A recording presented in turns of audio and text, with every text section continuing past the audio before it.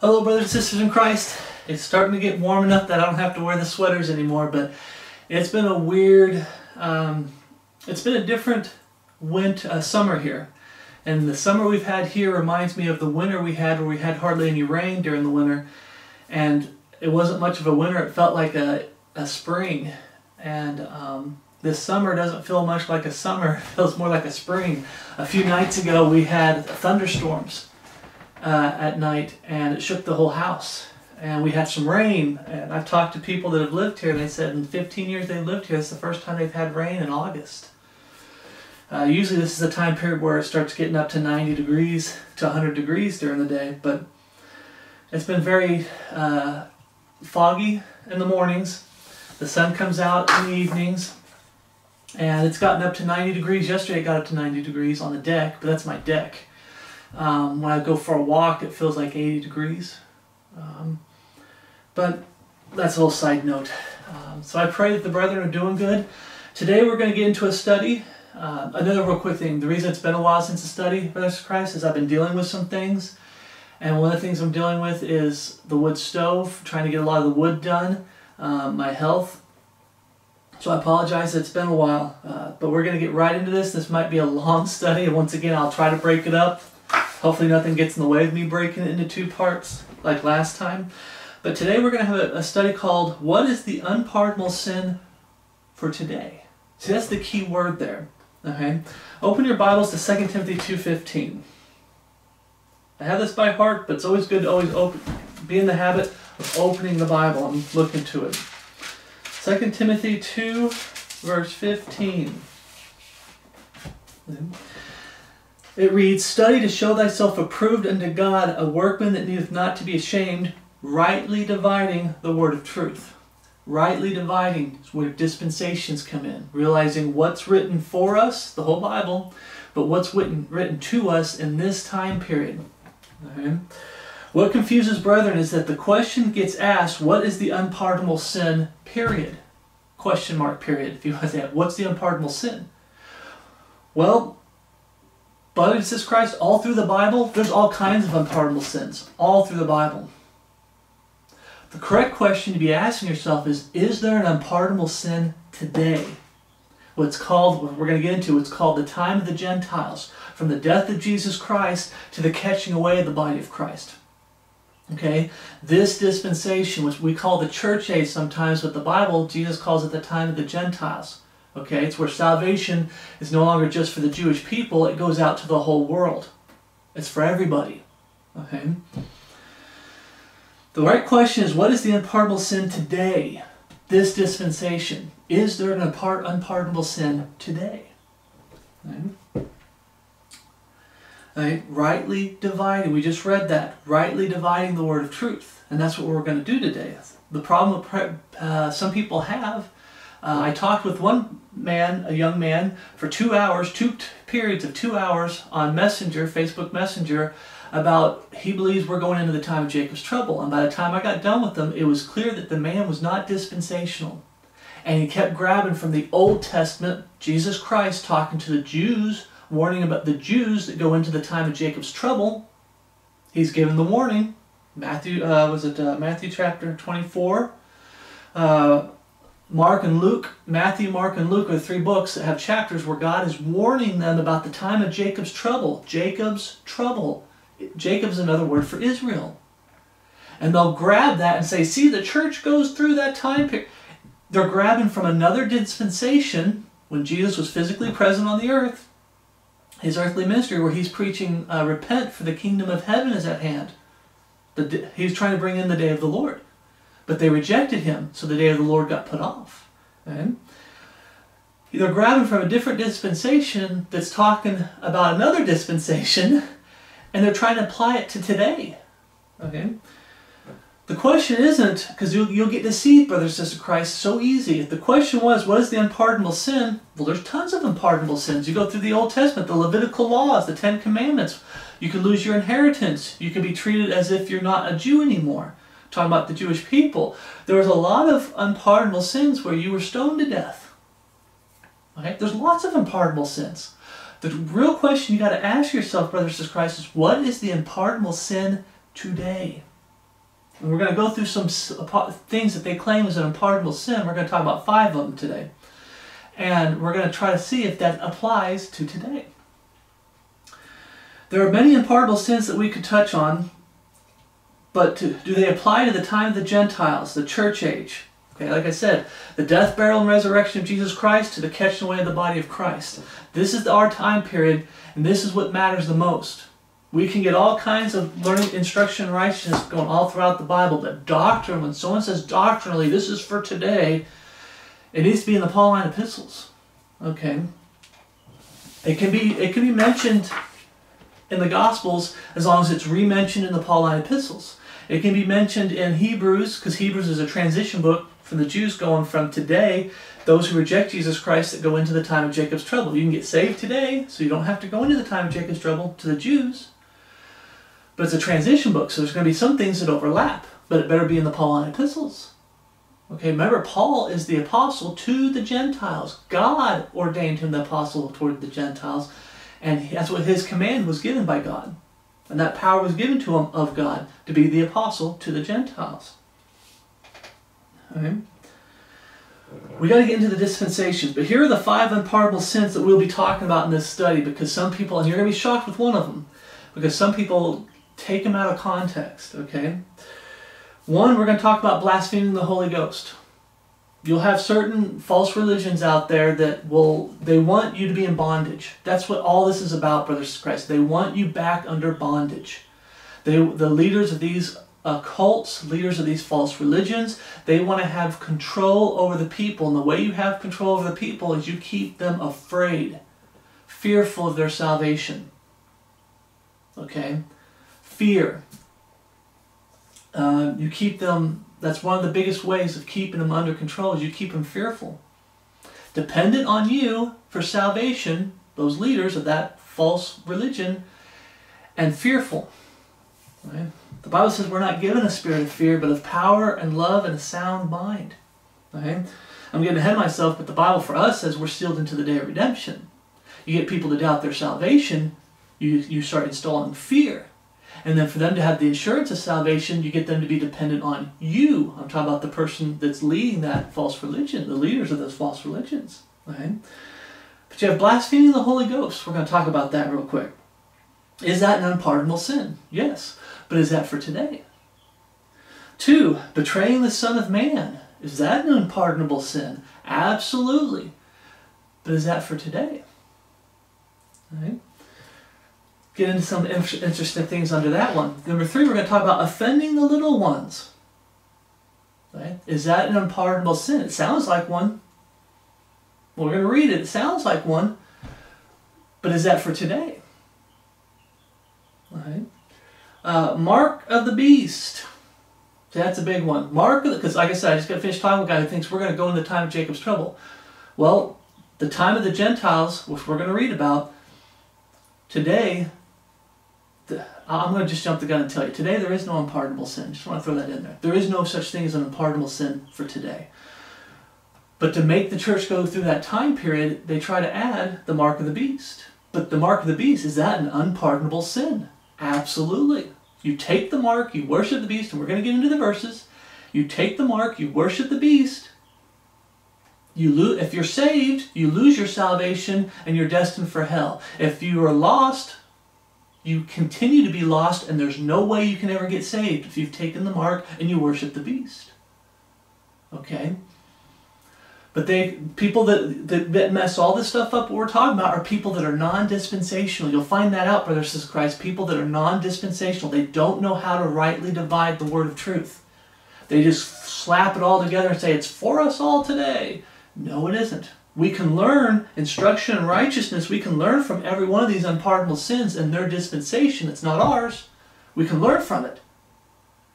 But when you doctrinally say it applies to us today, you're dealing with somebody who's lost, someone who's confused, someone who might be newly saved, but they're a PWC, want a cracker. They're just parroting what whoever it is they're following, what they say, I've got to say because I'm of him. You get respecters of persons. But people that are, don't rightly divide the word of truth, this isn't their final authority. It's basically who you're dealing with. The word of God is not their final authority. If anybody says there's an unpardonable sin today, right? So four was the mark of the beast we're going to be talking about. Five, here's a big one. What about the sin of unbelief? People say that that's an unpardonable sin. The sin of unbelief is an unpardonable sin. Hmm, we're going to get into that. Is that an unpardonable sin? Let's ask Paul. Let's, let's, let's actually say, let's say the scriptures. Let's ask Paul if that's an unpardonable sin. Okay? So let's get to the first one. Make sure you get your King James Bibles out. It's God's perfect written word in English. Okay, it's where you find the Holy Scriptures.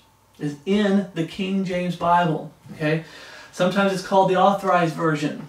Okay, but the first thing we're going to talk about is blaspheming the Holy Ghost. Turn to Matthew chapter 12. Is this an unpardonable sin? If I get asked that question, I'm going to just jump the gun and tell you yes. But is that for today? Let's read it. Matthew 12, 22.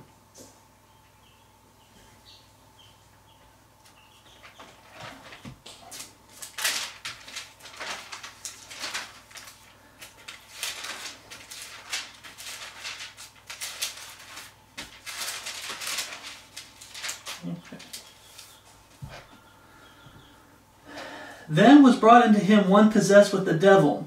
This is Jesus Christ. One possessed with the devil, blind and dumb, and he healed him insomuch that the blind and dumb both spake and saw. And all the people were amazed and said, Is this is not this the son of David?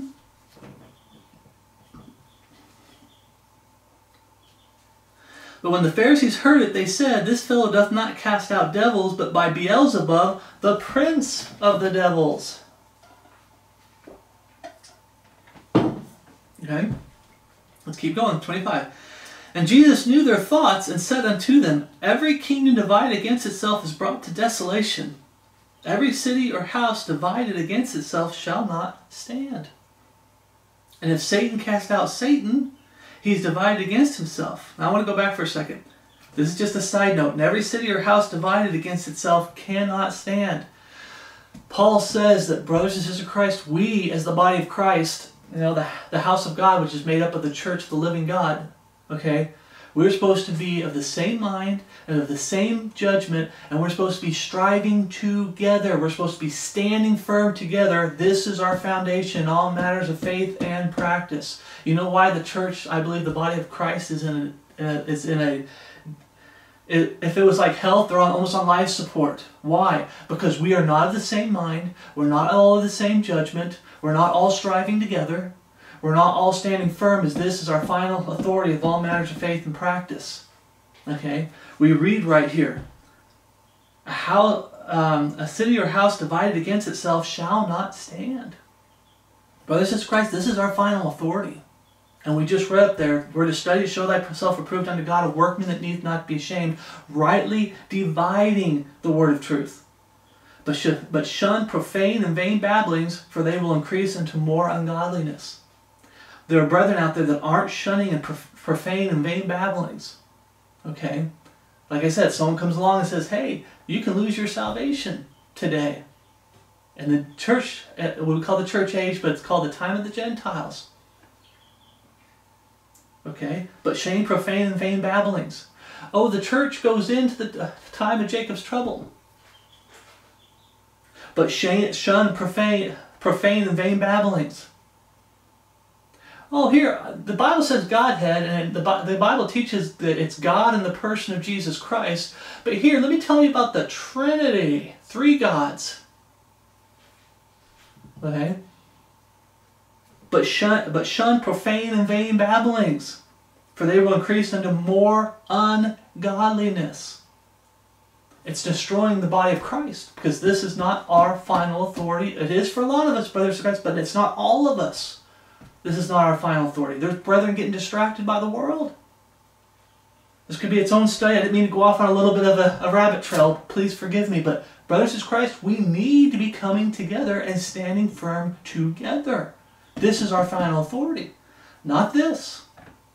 Not the flesh. Not the distractions that's going on in the world, not worldliness, not news. This is our final authority, and this is how we're supposed to live. Right? Jesus says himself, right now they're accusing Jesus Christ that he's casting out devils through the devil, through Beelzebub, okay, for prince of the devils. In other words, Satan is, is attacking Satan. Satan's destroying himself. And Jesus says that the house cannot stand if it's attacking itself. That goes along with us too, brothers says Christ. We need to stop attacking each other. We need to stand for truth. And yes, cast out people that are teaching false doctrines. Cast out people that are not Bible believing Christians. Preach the gospel to them and pray that someday they get saved so we can bring them back in. But when it comes to this, this is our final authority, and we need to stop bickering and fighting over things that aren't worth fighting over. That's why I did that whole series of um, words to no profit. There's some people that are just fighting to fight, arguing to argue. They just have this spirit of, of arguing and fighting. Okay? Verse 26, sorry, but let's get back to the study. Verse 26 And as Satan cast out Satan, he is divided against himself. How shall then, therefore, they shall be your judges? I'm sorry. But whom the children. And as Satan cast out Satan, verse 26, he is divided against himself. How shall then his kingdom stand? And if I by Beelzebub cast out devils, by whom do your children cast them out? Therefore they shall be your judges. Today, brothers says Christ, this is our final authority. This is what judges. And to rightly divide. Okay? Pauline epistles, that's my best advice I can give to you. When someone comes to you and says, doctrinally, this is for today, you say, okay, chapter and verse in the Pauline epistles where Paul re- talks about it. Yeah, it was. It's in. It's in Matthew, Mark, Luke, and John. But where's Paul reiterating it? Oh yeah, it's in Hebrews. But where's Paul telling us and warning the body of Christ for today? Where's he warning us about it? Okay, it's over in Revelation. John had a, had a, had a revelation. But where is Paul warning the church today? Where's John warning the church today in 1st and 2nd and 3rd John? Right? That's the important thing to remember. This is going to judge whether what someone's teaching is true when you rightly divide the word of truth, the King James Bible. Therefore, they shall be your judges. But if I cast out devils by the Spirit of God, then the kingdom of God has come upon you. Or else, how can one enter into a strong man's house and spoil his goods except he first bind the strong man, and then he will spoil his house? Hmm? Remember that the devil by the capital Spirit of God. He that is not with me is against me, and he that gathereth not with me scattereth abroad. Wherefore I say unto you, all manner of sin and blasphemy shall be forgiven unto men, but the blasphemy against the Holy Ghost shall not be forgiven unto men.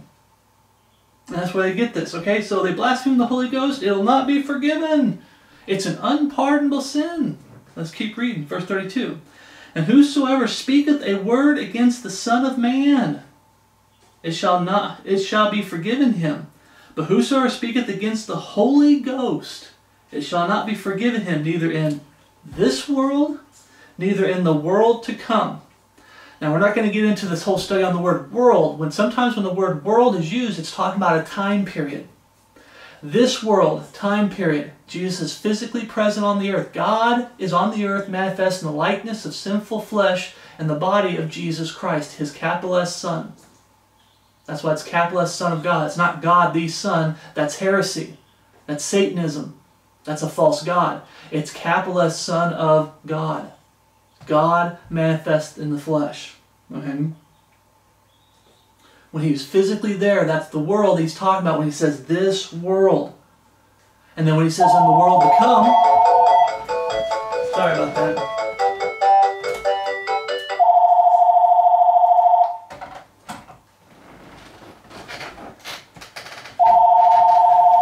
I'm sorry, brothers in Christ.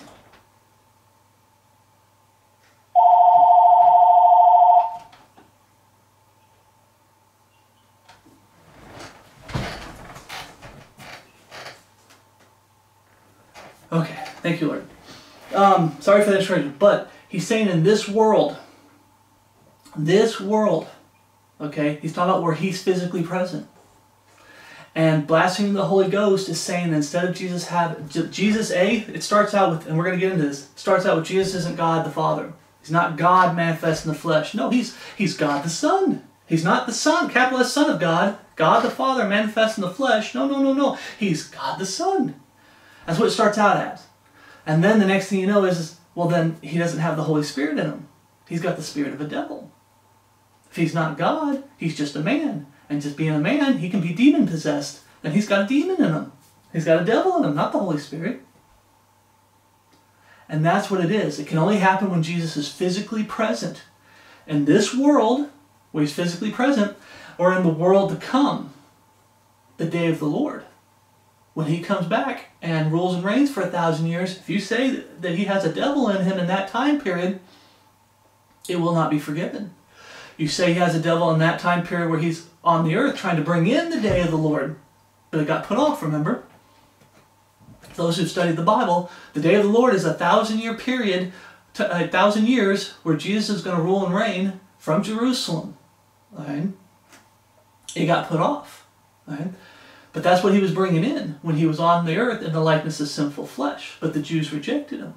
So it got put off. Those are the two time periods where this is an unpardonable sin. And yes, it is. You commit this sin, you go to hell and in the lake of fire for all eternity.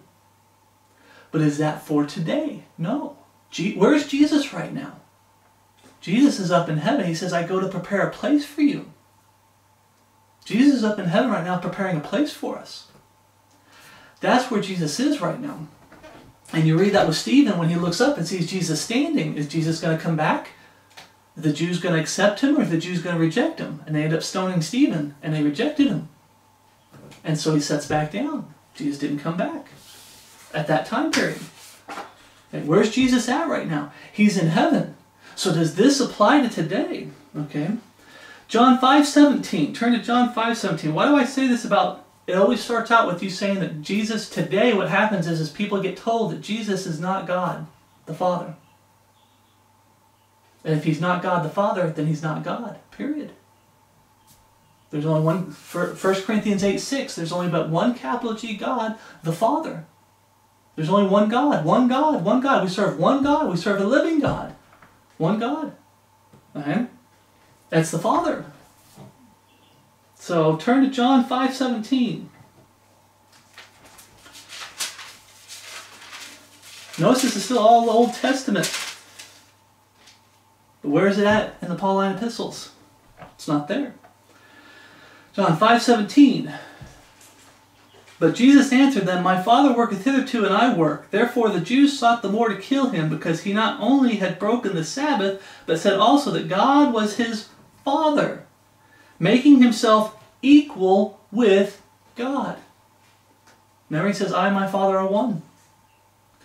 God the Father is the soul, God the Father is the true God, and he speaks to mankind through his body, the capital S Son of God, and through his Spirit, the Holy Spirit.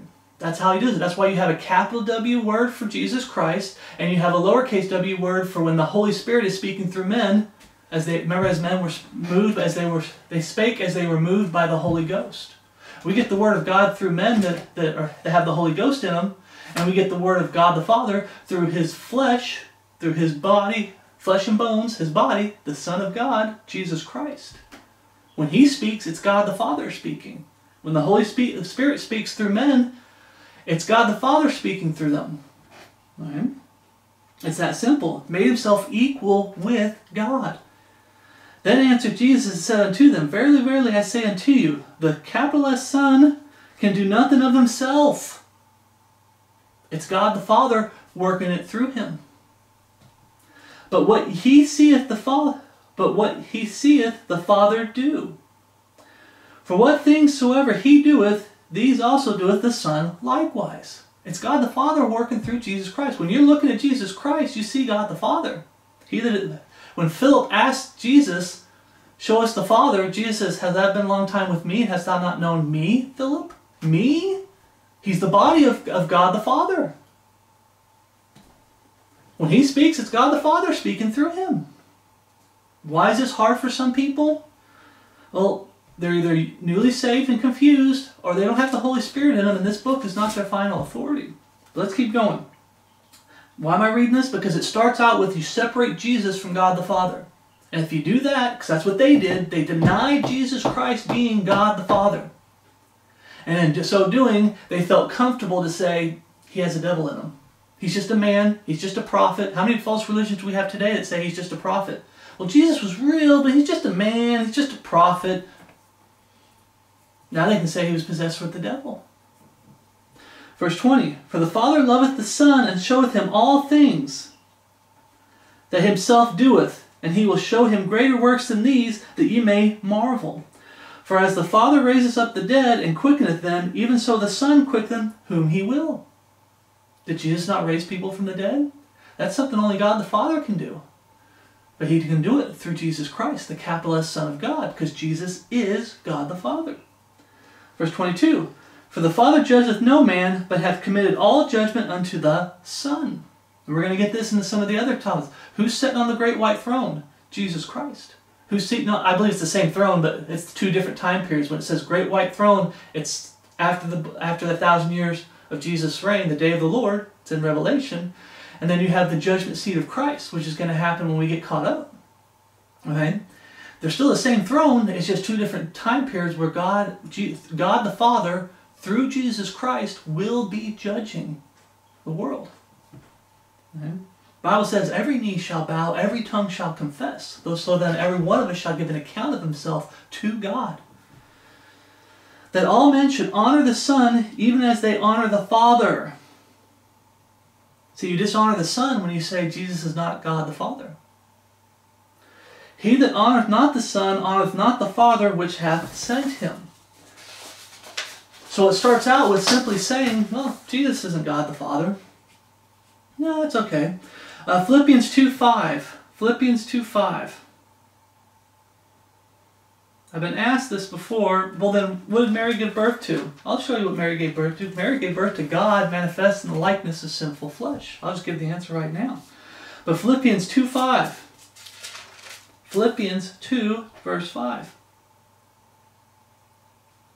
Let this mind be in you, brothers and sisters Christ, which was also in Christ Jesus, who being in the form of God, what form? He's the body of God. He's the flesh. He's the expressed, the Bible says he's the expressed image of God. He that has seen me has seen the Father. I and my Father are one. The form of God. But what kind of form of God? Because uh, I believe in the Old Testament when it said angel of the Lord, it's talking about Jesus Christ. You have Nebuchadnezzar looking in the fire with Meshach, I get the names, Abednego, and I get the names mixed up, but the three, three people there and he sees a fourth person and says it's like unto the Son of God. Jesus had an incorruptible body in the Old Testament, but here it says, who being in the form of God. But what form is it talking about? Let's keep reading. Thought it not robbery to be equal with God, but made himself of no reputation, took upon him the form of a servant, and was made. Because some people get confused and say, well, Jesus was created. He wasn't, the Old Testament, Jesus Christ in the Old Testament, incorruptible body, was not created. What was created was this right here, and was made in the likeness of sinful, um, in the likeness of men. When he was born of a Virgin Mary, he was born as a, in the likeness of sinful flesh, which we're going to get to that in the, in the next set of pictures. But right here it says, was made in the likeness of men. And being found in the fashion as a man, he humbled himself why did he act the way he did? If he's God the Father, why did he act the way he did? Why did he talk the way he did? He humbled himself and became obedient unto death. Even the death of the cross. He spoke the way he spoke so we could understand it and we can learn from it. Wherefore God also hath highly exalted him and given him a name which is above every name, that at the name of Jesus every knee shall bow of things in heaven and things in earth and things under the earth Okay? Everybody. That's at the thousand year reign of Jesus Christ, at the end of the day of the Lord, hell's brought up. Everybody has to stand before Jesus Christ. Kneel, not say stand, but kneel. Usually we say stand, in other words, you have to answer when you use the word stand, but physically they're going to be kneeling before Jesus Christ in the earth. That's where hell is. And that every tongue should confess that Jesus Christ is Lord to the glory of God the Father. So we see that he was made in the likeness of men. He came in the likeness of men. That's what, what Mary gave birth to. God the Father manifest in the flesh. Turn to Romans 8 1. Romans 8 1 is where we get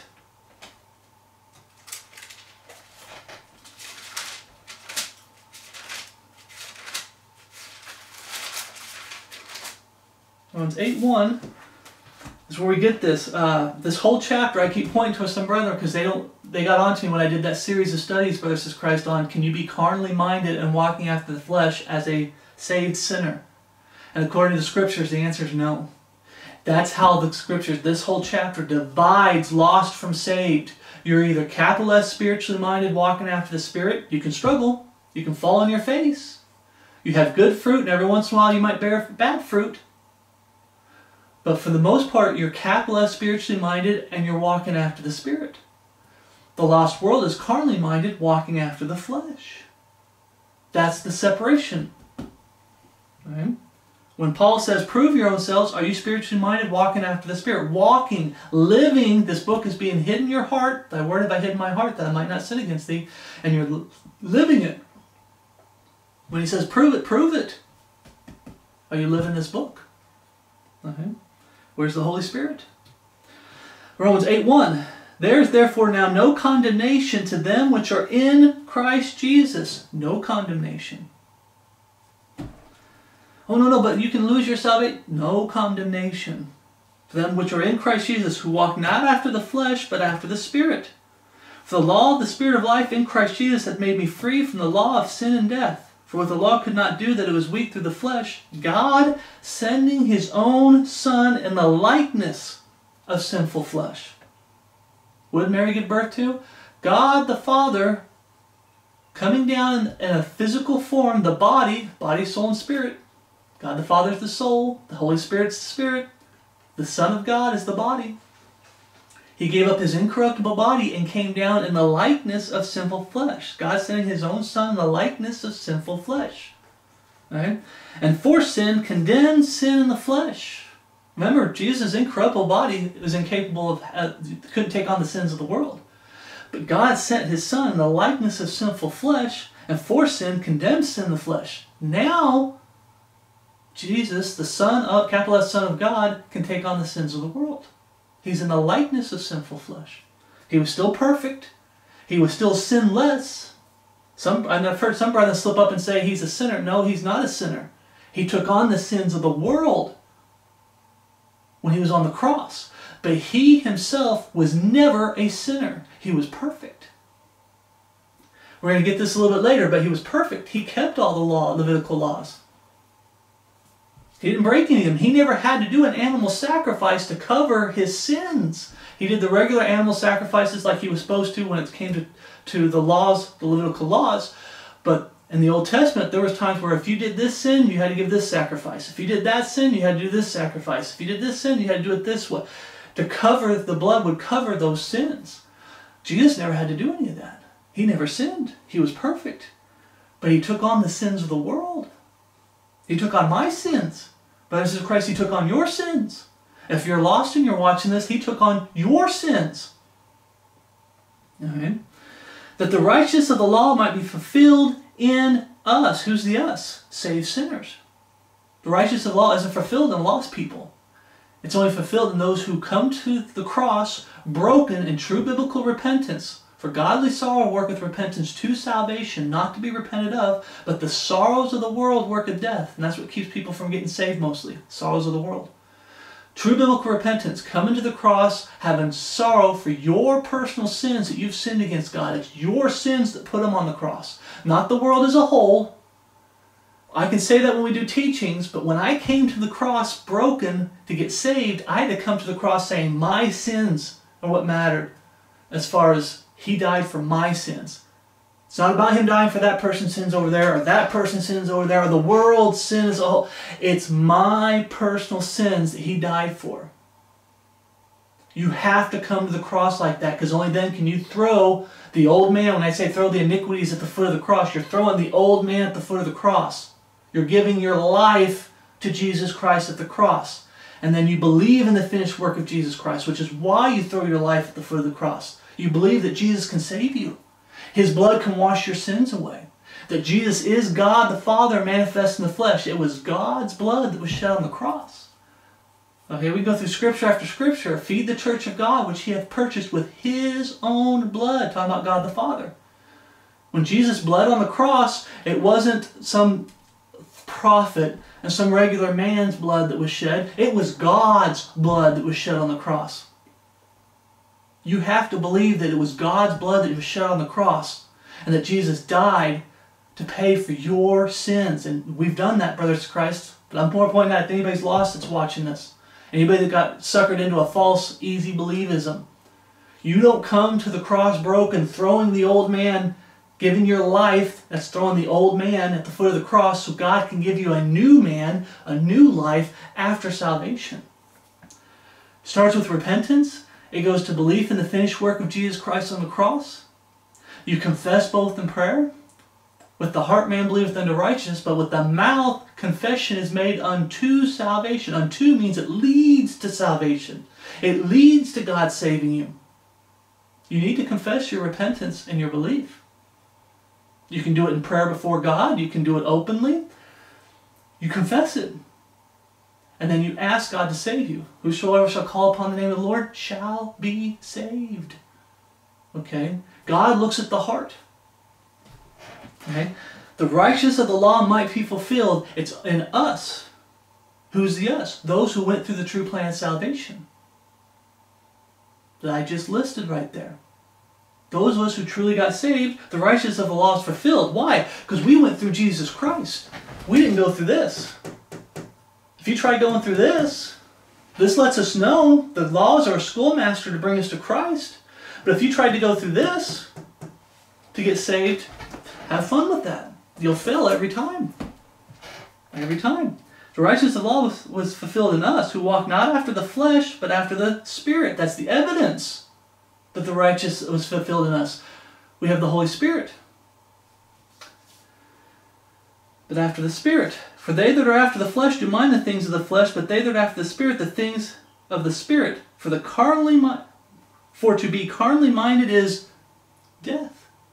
Stop right there. I, I, don't mean to go back in some of the old teachings, brothers of Christ, but right there. For to be carnally minded is death. The law of sin and death.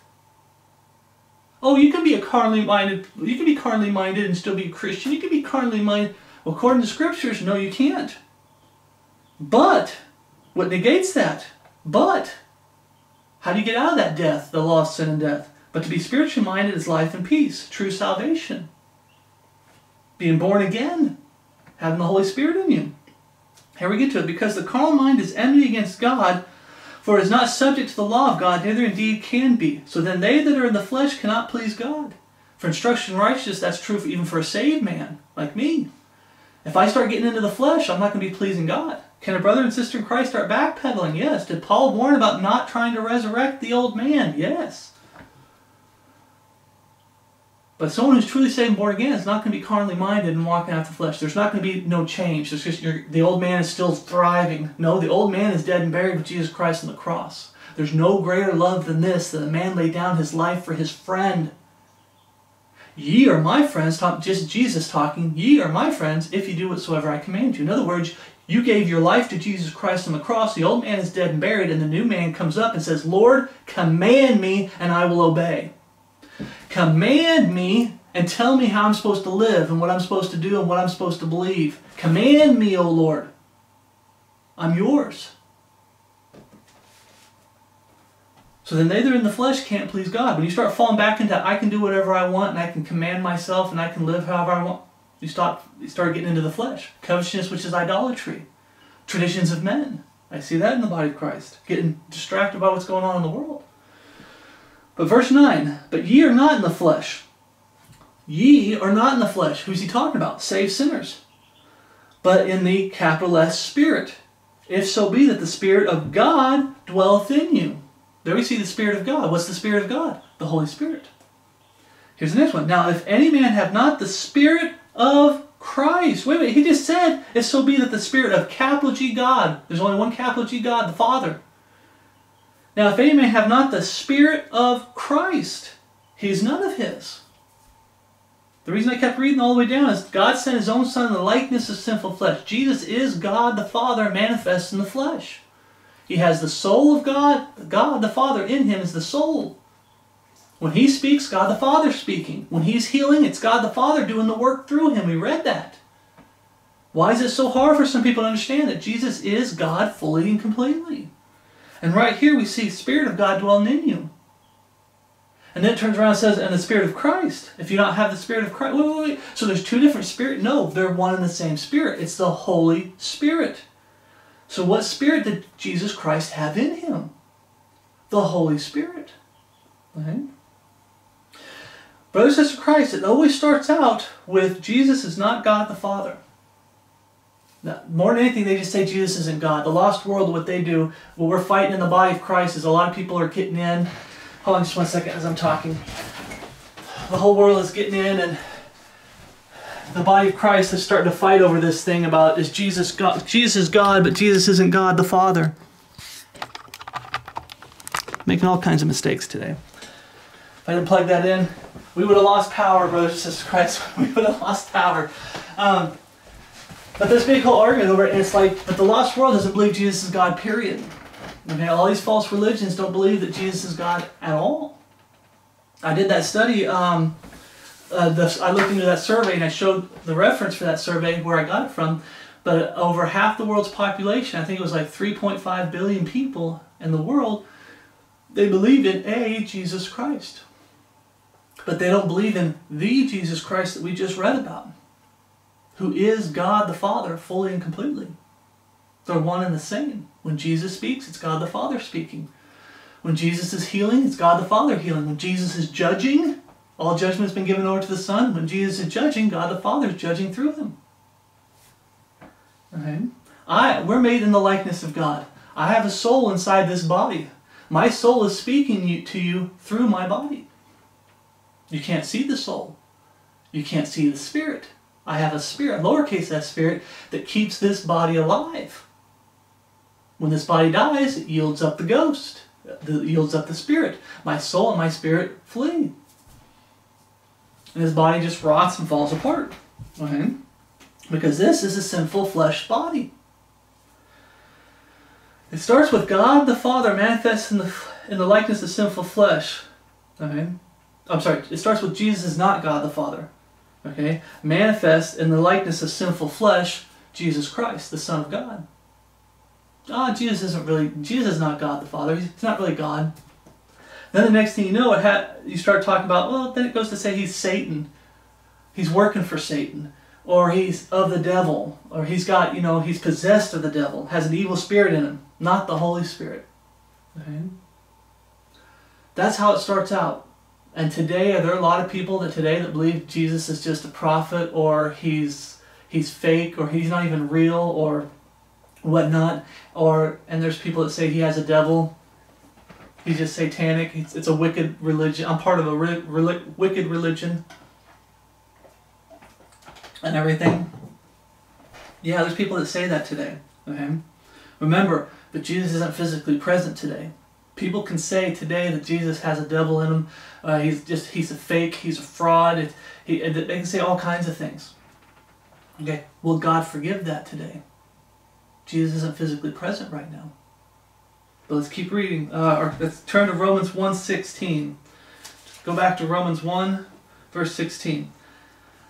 For I am not ashamed of the gospel of Christ, for it is the power of God unto salvation to everyone that believeth, to the Jew first and also to the Greek. Where's the where's the fine print? Have you ever heard the saying the fine print when there's a contract? Sometimes they try to sneak in some fine print. Where's the clause here that says, unless you've blasphemed the Holy Ghost, unless you've taken the mark and worshipped the beast, unless you've done, blah, blah. where's the clause here? It's not to the Jew first and also to the Greek. For therein is the righteousness of God revealed from faith to faith, as it is written, the just shall live by faith. For the wrath of God is revealed from heaven against all ungodliness and unrighteousness of men who hold the truth in unrighteousness. Because that which may be known of God is manifest in them, for God hath showed it unto them.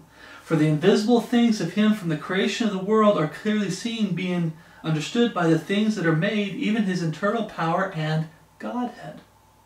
So that they were without excuse, because that when they knew capital G God, what, what is it?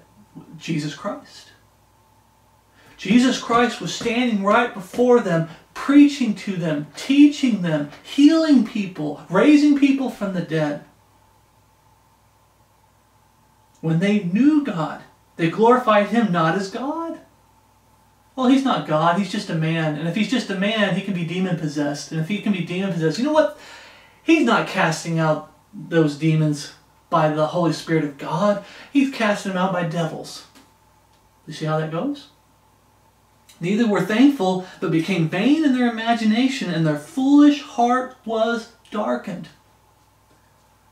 Remember the word fool. Fool, the, man, the fool hath said in his heart there is no God.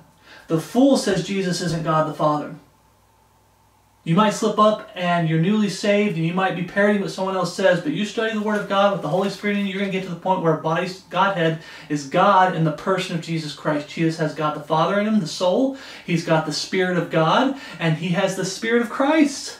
The same Spirit. It's the Holy Spirit in him. Jesus is the body. Body, soul, and spirit. The Godhead. In him dwells the fullness of the Godhead bodily. Okay? A fool has said in his heart, There is no God. But, brothers and sisters of Christ, we can still use the word foolish for those who are saved. Brothers and sisters of Christ, you're acting foolish. In other words, you're acting like a lost person. Brother Phillip, you're acting foolish. Talking about me. What does that mean? I'm acting like a lost person. I'm in error somehow. I'm doing something wrong. Or you're doing something wrong. It's okay to use the word foolish with a brother and sister in Christ. Be careful not to use the word fool. Okay? Right here it says, imagine, and their foolish heart was darkened. This is past tense, when God walked among them in the body of Jesus Christ. Okay, when they knew God, past tense. They glorified him not as God, neither were thankful, but became vain in their imagination. Their foolish heart was, was darkened. But what about today? There's a lot of Jews getting saved at that time period that Paul's writing this. He's leading some Jews to, to, to, Jesus Christ. More Gentiles at this point than Jews, but there are Jews getting saved. Was, that's past tense. Jesus is capital G God the Father. And that's where it starts. They kept saying, you keep saying you're God, you're the capital S Son of God, you're making yourself equal to God. You're not God. You're the devil when to Jesus' face. Okay. Romans 1.22, keep reading. Professing themselves to be wise. I've got the answer. He's a devil. And he's casting out through Beelzebub, the prince of the devils. That's how he's casting these things. I am wise. I've figured it all out. Professing themselves to be wise, they became fools. Notice it says fools. Remember, I believe it's an unpardonable sin when Jesus is physically present. So those people that said that, he's, he's got, that was an unpardonable sin. They became fools. And changed the glory of the uncorruptible God into an image made like to corruptible man and birds and four-footed beasts and creeping things, wherefore God also gave them up to the uncleanness through the lusts of their own hearts, to dishonor their own bodies between themselves who changed the truth of God into a lie. And that's what's going on today. The truth of God into a lie. Well, Jesus is God, but he's not God the Father. If he's not God the Father, then he, they're saying he's a separate God from God the Father. Period. And when they start saying, but no, no, no, no, there's only one God, you're dealing with someone who's mentally ill, who's lost. I never once believed, and I've talked to brethren, I've never once believed in three gods. And a lot of brethren that use Trinity terms, they'd say, well, I don't believe in three gods either. Well, then stop using the Trinity term because that's what it means, that there are three gods. Separate gods. God the Father is not God the Son. God the Son's not the Holy, God the Spirit. There are three separate gods. That's what the Trinity teaches. If you don't believe that, stop using Trinity. Start using the word Godhead. I only believe in one God. That's the Godhead. God the Father works through the Son, capital S, Son, Jesus Christ. God the Father works through the Spirit of God, the Holy Spirit. And Jesus can claim that Holy Spirit is his own. These three are one. Body, soul, and spirit, these three are one. The person of Jesus Christ. Who changed the truth of God into a lie and worship and serve the creature more than the Creator who is blessed forever. Amen. Today, God can and will save anyone. We're going to read the verse for that. Including those that have denied who Jesus is by saying that Jesus is not God the Father, manifest in the flesh, and has not the Holy Spirit of God in him. Okay? Today, people can say, well, he was just a man, like past tense, he was just a man that had a devil in him. Is it an unpardonable sin today? No. That's what blaspheming the Holy Spirit is, is saying that Jesus Christ, when he was physically present to his face, you're telling them you're not the Son of God, you're not God manifest in the flesh, you have you're you're of Satan, and you have a devil in you. That's what blaspheming the Holy Ghost is. That's what blaspheming the Holy Ghost is, brothers and Christ. You have a devil in you, not the Holy Spirit in you. And it can only be done face to face to Jesus Christ. Can people say that today and be forgiven? Absolutely. I'm going to read the verse for that. However, the unpardonable sin of blaspheming the Holy Ghost can only be done when Jesus is physically present. It shall be forgiven him, neither in this world, neither the world to come. Okay? Is this an unpardonable sin? Because that's the that's how they try to deceive you, brothers and Christ. Is this an unpardonable sin? Absolutely it is. Is it for today? Absolutely not. What is for today? Turn to John, 1 John 1 5. 1 John 1. Let's see. This then is the message which we have heard of him and declare unto you that God is light and in him is no darkness at all. If we say that we have fellowship with him and walk in darkness, we lie and do not the truth. But if we walk in the light as he is in the light, we have fellowship one with another, and the blood of Jesus Christ, his Son, cleanses us from all sin. This is written for the time of the Gentiles, from the death of Jesus Christ, where the New Testament comes in, death of the testator, that's in Hebrews, where the death of the testator comes in, that's the only way the New Testament can come in. Okay, there has to be a shedding of blood. Without the shedding of blood, there is no remission of sins. Okay? The blood of Jesus Christ, his Son, cleanses us from all sin, from the death of Jesus Christ to the catching away of the body of Christ. Cleanses us from all sin. If we say we have no sin, we deceive ourselves, and the truth is not in us. If we confess our sins, he is faithful and just to forgive us our sins. Let's say you get mad at God and you start cursing God as a saved sinner. I mean, some people can get really low, you can get really fleshly. There's, the Bible talks about, we're going to talk about this a little bit more, the falling away. If you confess your sin, will God forgive it? Absolutely. Absolutely. Okay. If we confess our sins, he is faithful and just to forgive us our sins and cleanse us from all unrighteousness. If we say that we have not sinned, we make him a liar, and his word is not in us. Okay. When we get to the mark of the beast, they keep saying nobody, no, no person who's, true. you know how they hide from this? No person who's truly saved will blaspheme the Holy Ghost. No person who is truly saved will take the mark of the beast and worship the beast. What does it say here? If we say that we have not sinned, we make him a liar and his word is not in us.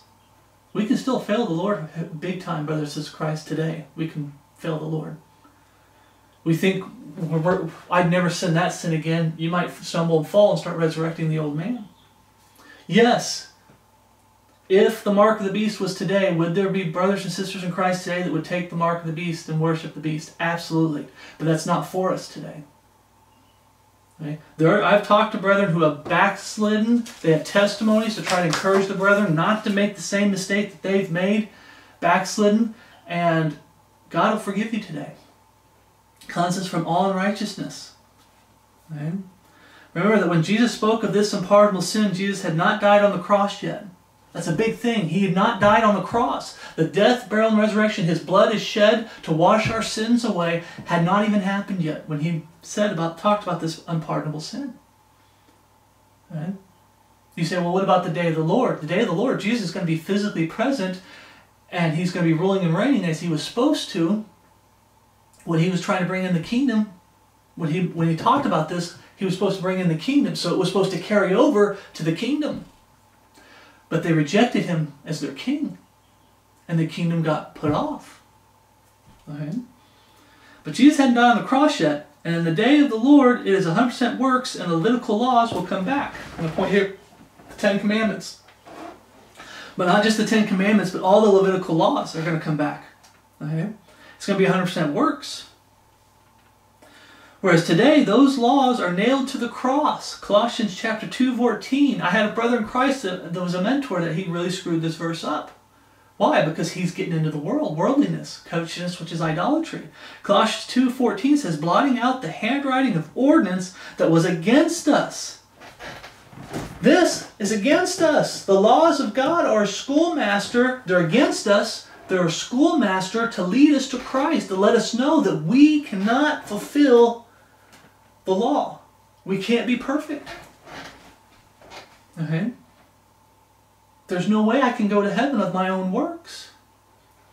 What happens? They, these Levitical laws that lead to the law of sin and death, which is against you, sending you to hell and burning for all eternity, the law of sin and death, were nailed to the cross, blotting out the handwriting of ordinance that was against us, which was contrary to us, and took it out of the way, nailing it to the cross. That's Colossians 2.14.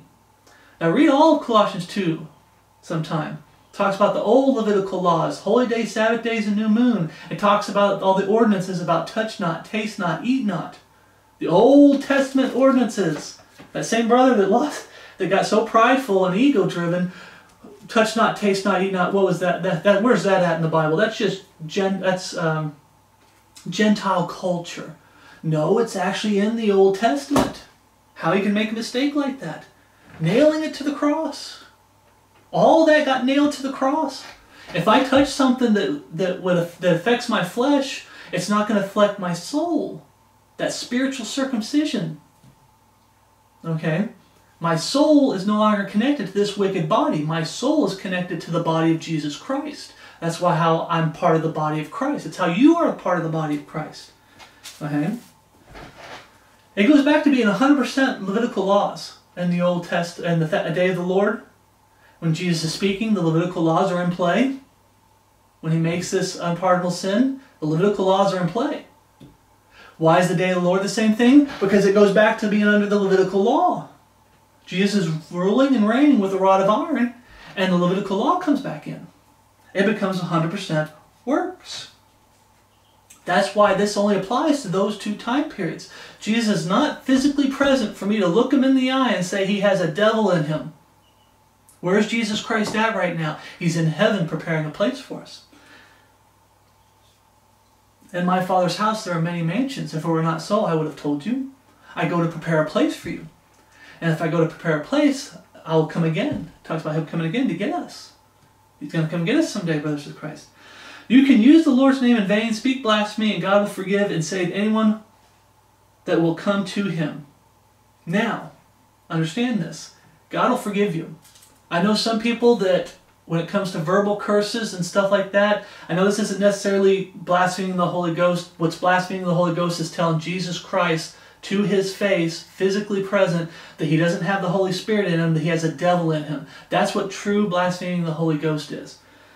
But today people are so confused. Well, did I blaspheme the Holy Ghost? Because it gets so confused with the lost world watering it down. If you cursed God, if you did this, if you that's blaspheming.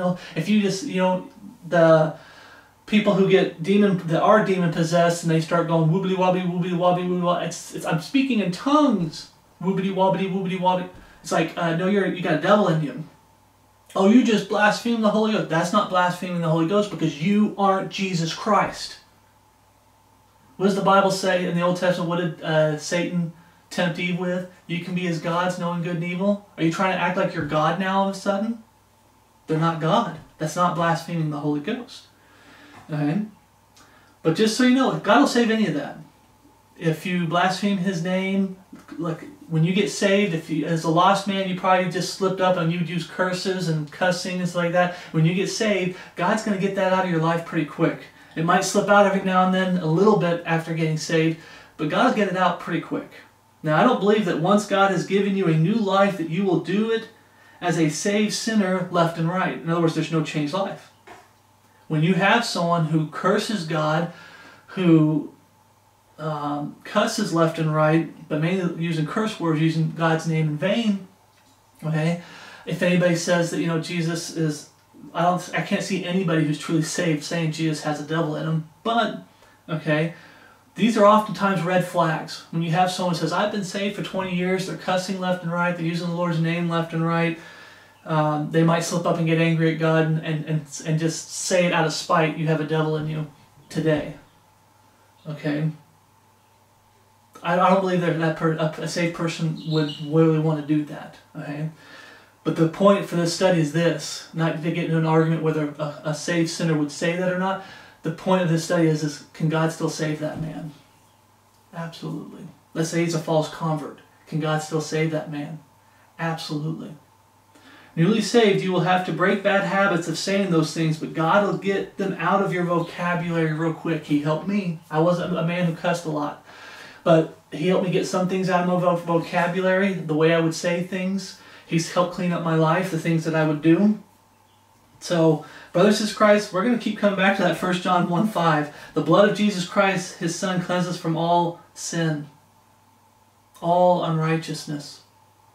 That's for today. Can God forgive somebody that so thinks that thinks they've commit they've uh, com- committed what they call the unpardonable sin of blaspheming the Holy Ghost? Can that be forgiven today? A, yes, because it's not possible to blaspheme the Holy Ghost today. But even if you're trying to be deceived into it, all things can be forgiven today. That blaspheming the Holy Ghost is only for when Jesus was physically present on the earth, going into the time of Jake, uh, going into the day of the Lord.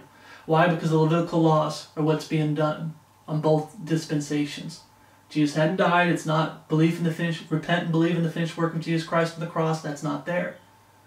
It's not there in the day of the Lord. It's not there when Jesus' uh, earthly ministry, when he came the light, when God came the likeness of sinful flesh. Okay, so let's get that out there. Okay, that's not an unpardonable. That is an unpardonable sin, but is that an unpardonable sin for today? Absolutely not. The next one, because we got a lot to go through. Next one, betraying the Son of Man. The three main ones, which we will talk about, is the mark of the beast and blasphemy of the Holy Ghost, were the two. And then you hear this teaching lately that uh, the sin of unbelief is an unpardonable sin. We're going to get into that, okay? But I threw a couple extra in here just to show that this dispensation that people are grabbing from when Jesus is physically walking on the earth, and it's going to be there for when Jesus is there and the day of the Lord. But it's not there for today, okay? Today, any sin can be forgiven. Anyone can say, Are you breathing? Go, ha. Are you breathing? You alive? Some of you might be barely alive. God can save you. You have to come to Him broken and repenting and having godly sorrow for your personal sins that put Him on the cross. It's down to you coming to God broken. Can God save you? Absolutely. Two, betraying the Son of Man, Mark 14, 21. Turn to Mark 14, 21. How many know about this one? Mark 14, 21.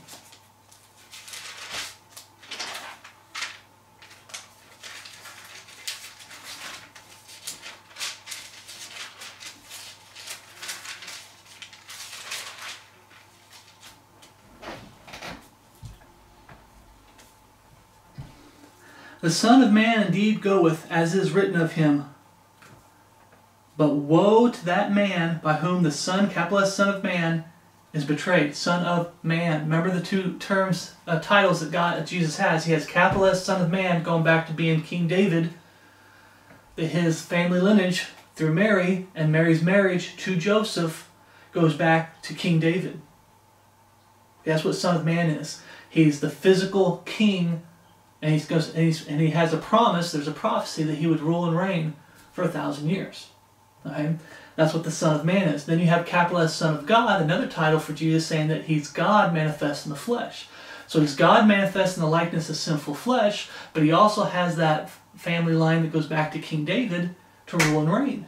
That's where you get Son of Man, is betrayed. So God the Father can't be betrayed, but the Son of Man can be betrayed whom the Son of Man is betrayed. Good for, for him that he had never been born. First, I want to point out this is a specific man. Good for that man. That man, it's a specific man, would never born if he were never born. Because there's people, and the reason I'm bringing this up is there's people today that believe they betrayed Jesus Christ and the life that they lived before, and and they, and it's hard for them to get over that to say God will still save you. God will forgive all that. Throw that man that betrayed that you feel betrayed Jesus, your Creator, God Almighty. Throw that man at the foot of the cross, the old man, and God will save you and give you a new life, new birth, new creature in Christ Jesus. Old things have passed away. Behold, all things have become new. I got the banner rolled up there. So, um, yeah. But you got some people that believe that they've betrayed Jesus Christ and there's no way he would save me. There's no way he would forgive me. This is just talking about a specific man. And it can only be done to the capital S Son of Man when Jesus was physically present on the earth in the likeness of sinful flesh. Okay. Judas Iscariot, we're going to get this. Judas Iscariot is that man. Notice it reads that man. This could only be done when Jesus was physically present. But can brethren betray Jesus today? There was an old song that I'm not pr- promoting this the, the man or anything, but an old song came to my memory. It says, Only a friend can betray a friend. A stranger has nothing to gain. And only a friend comes close enough to ever cause so much pain. Only a friend can betray a friend. Someone who who, who's an enemy and has nothing to do with you. They can hurt you, they can attack you, but they can't betray you. This had to be someone that was close to Jesus Christ, and it was Judas Iscariot. Okay. 2 Timothy 2.15. Turn back to 2 Timothy 2.15. You say, we read this. Well, let's keep reading. 2 Timothy 2.15 says, Study to show thyself approved unto God, a workman that needeth not to be ashamed, rightly dividing the word of truth. Remember, you can pause the video and turn. If I turn too fast, pause the video, turn, and then unpause the video. And that's what I do when I watch other brethren studies, because I love turning in the Bible to what we're re- and reading along. Okay? But study to show thy proof unto God, a workman that needeth not to be ashamed, rightly dividing the word of truth. But, but shun profane and vain babblings, for they will increase unto more ungodliness. And their word will eat as doth the canker, of whom is Hymenaeus and Philetus, who concerning the truth have erred, saying that the resurrection is past already, and overthrow the faith of some. Nevertheless, the foundation of God standeth sure, having this seal, the Lord knoweth them that are his. Brothers of Christ, there's sometimes that you might fall back into temptation and you choose to sin, or you start getting into worldliness, distracted by the world, and you try to start resurrecting the old man, and you think, I've betrayed the Lord. I've betrayed God, and He won't forgive me. Nevertheless, the foundation of God standeth sure. You have two men that once believed in the resurrection that turn their back on the resurrection and start preaching against the resurrection. But the, nevertheless, the foundation of God standeth sure having this seal, that God knows that them that are His. Part of believes that they're still saved because it goes and talks about, if you keep reading, um, 19, verse 20. But in a great house there are not only vessels of gold and silver, but also of wood and earth, and some to honor and some to dishonor. Can God forgive you if you feel like you've betrayed Him? We betrayed His word. You turned your back on something that was absolute truth. Can you come back to the truth? Absolutely. Can God forgive you? Absolutely. That betrayal was for a specific man, and when only when Jesus was physically present. Once again, it's a different dispensation. It's not for today.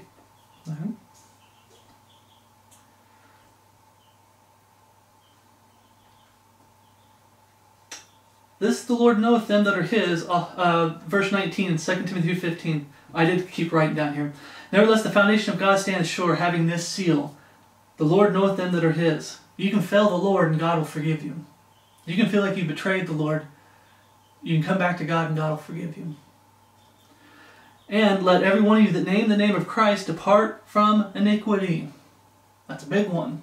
A lot of easy believisms don't like that verse. Oh, no, no, because that talks about a changed life. Sanctification. God cleans up your life. Okay?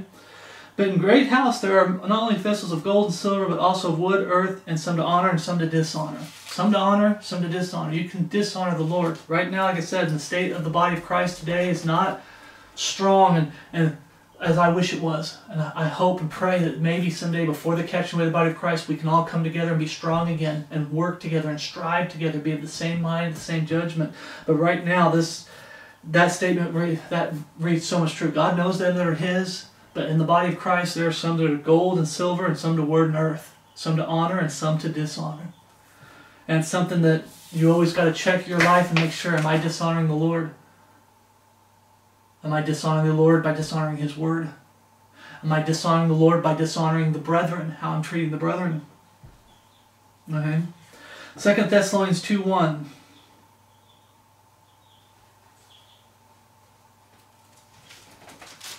Second Thessalonians 2, chapter 2, verse 1. Now we beseech you, brethren, by the coming of our Lord Jesus Christ, and by our gathering together unto him, that ye may soon be that ye be not soon shaken in mind, or be troubled, neither by spirit, nor by word, nor by this, nor by letter as from us, as the day of Christ is at hand. Let no man deceive you by any means, for that day shall not come except there come a falling away first, and that man of sin be revealed, the son of perdition. Okay? There's going to be a falling away, brothers and sisters. There's going to be a great falling away in the time of Jacob's trouble, but there's also a falling away today. Okay? There's a falling away in Peter, uh, Peter's day, Peter's day, Paul's day. He we just read about it. Two people who believed in the resurrection, and now they've turned against it. They have erred from the truth. At one point, they had the truth, and then they've erred from it. He didn't say they were ignorant. He didn't say, hey, they, they're speaking of what they know not. He said they erred from the truth.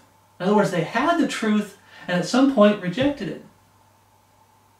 They had it. They're one of us. They had it. They had the truth, and now they've turned from the truth. They've erred from the truth. Mm-hmm. You will have brethren fall away from the truth today and betray Jesus and his word, even betray some of the brethren. Some will stay in a fallen state till caught up in death. No, Father chastens uh, whom he loveth, he chastens as he would a child. Okay, God will chasten to get him back on the right path. But they can fight God to the point where God will just kill you and bring you home. So they might stay in a fallen state till they're caught up in death or they might stay in a fallen state until we get all get called home in life. I always call this getting caught up in, in death when you die, or getting caught up in life, the catching away of the body of Christ. Right? Some will let God pick them back up. Praise the Lord. And I praise the Lord every time God picks me back up, and every time God picks every one of you back up, brothers Christ. I praise the Lord. God doesn't want to destroy us. He does when He chastises us. It's not to destroy us. It's to break our our hearts gotten hardened and whatever sin that we're holding on to and won't let go. It's to break our hands to get our hands to let go of whatever it is we're letting holding on to. It's done to build us back up, to pick us back up again. When I correct a brother in Christ and disagree with some of the brethren, I correct them with love. Okay. Um, and it's done in a way to pick him back up, to get him back going again. Right? Be careful those that correct people that they just want to destroy them and tear them down to destroy them. Be careful of those people. Okay? Some will let God pick them back up. Brothers and Christ. Hymenaeus and Philetus fell away from the truth into a lie. They have erred. Okay? They've erred from the truth. Today, people feel like I betrayed the Lord. I betrayed the Lord you can still get saved today. It's not an unpardonable sin today. It was only an unpardonable sin when Jesus was physically present on the earth in the likeness of sinful flesh. Why is it not there for the day of the Lord? You say, Brother Philip, why isn't it there for the day of the Lord? Because in the day of the Lord, it's not capital S Son of Man as far as in the likeness of sinful flesh. God has an incorruptible body. He'll be ruling and reigning with the rod of iron. It's not possible for a man to betray him then. But when he was in the likeness of sinful flesh, it was possible for a man to physically betray him while he was physically on the earth. Okay? That was Judas Iscariot. Turn to 2 Thessalonians 2 4. 2 Thessalonians 2 4. We just did 2 4. Sorry. No, no, 2 Thessalonians 2 4. Keep going. I'm sorry who opposeth and exalteth himself above all that is called God or that is worshipped, so that he, as God, sitteth in the temple of God, showing himself that he is God. Remember ye not that when I was yet with you, I told you these things? And now ye know that what withholdeth that he might be revealed in his time. How we know the church doesn't go through this. Verse 7 For the mystery of iniquity doth already work, only he who now letteth will let until he be taken out of the way. The body of Christ. The word let means you hinder something from going over. You have a net in tennis and the ball does hits the net and the net prevents the ball from going over, it's called let. We're not going into the time of Jacob's trouble. Okay, what is letting, what is hindering that man of sin from popping up? Okay. You don't have to turn here, but Revelation 16:13 says, And I saw three unclean spirits like frogs come out of the mouth of the dragon, and out of the mouth of the beast, and out of the mouth of the false prophet. Uh-huh. You've got the, the beast, okay? We see that there. You have three. You have the false prophet, you have the beast, and you have the mouth of the dragon. That's the true Trinity. What's going to happen to the true Trinity? Revelations 19:20. And the beast was taken, and with him the false prophet that was that wrought miracles before him, with which he deceived them that, that had received the mark of the beast, and them that worshipped his image. These both were cast alive in the lake of fire burning with brimstone. So there we got the false prophet and the beast, the, the, the person pretending to be Jesus Christ, betraying God and betraying the Jewish people. Right? But remember, it's a different dispensation. Revelation 20.10 says, And the devil that deceived them was cast into the lake of fire of brimstone, where the beast and the false prophet are, and shall be tormented day and night forever and ever. These are different dispensations. Okay? Now, granted, I believe uh, the reason I mentioned it is because the beast, Judas Iscariot, is a type of the beast. He's a man that the, the, the devil goes into him, and he betrays Jesus Christ. What's the beast going to be like in the time of Jacob's trouble? Satan's going to go into him and he's going to pretend he's Jesus Christ, and he's going to betray God, and he's going to betray the Jewish people. They all went to hell. Judas Iscariot. Okay. This is an unpardonable sin, absolutely. But is it for today? No, it isn't. Okay? Is this an unpardonable sin? Yes, but but the better question to ask is, is this for today? Can God forgive betrayal today? There's some bro- there's some brethren that turn their back on this book, King James Bible, and grab an NIV for a while, and God convicts them, chastises them, and they come back to the Bible. There's some that say, "Oh, I believe in the pre-time of Jacob's trouble, catching away the body of Christ," which includes believing in uh, the imminent return of Jesus Christ, as far as looking for that blessed hope.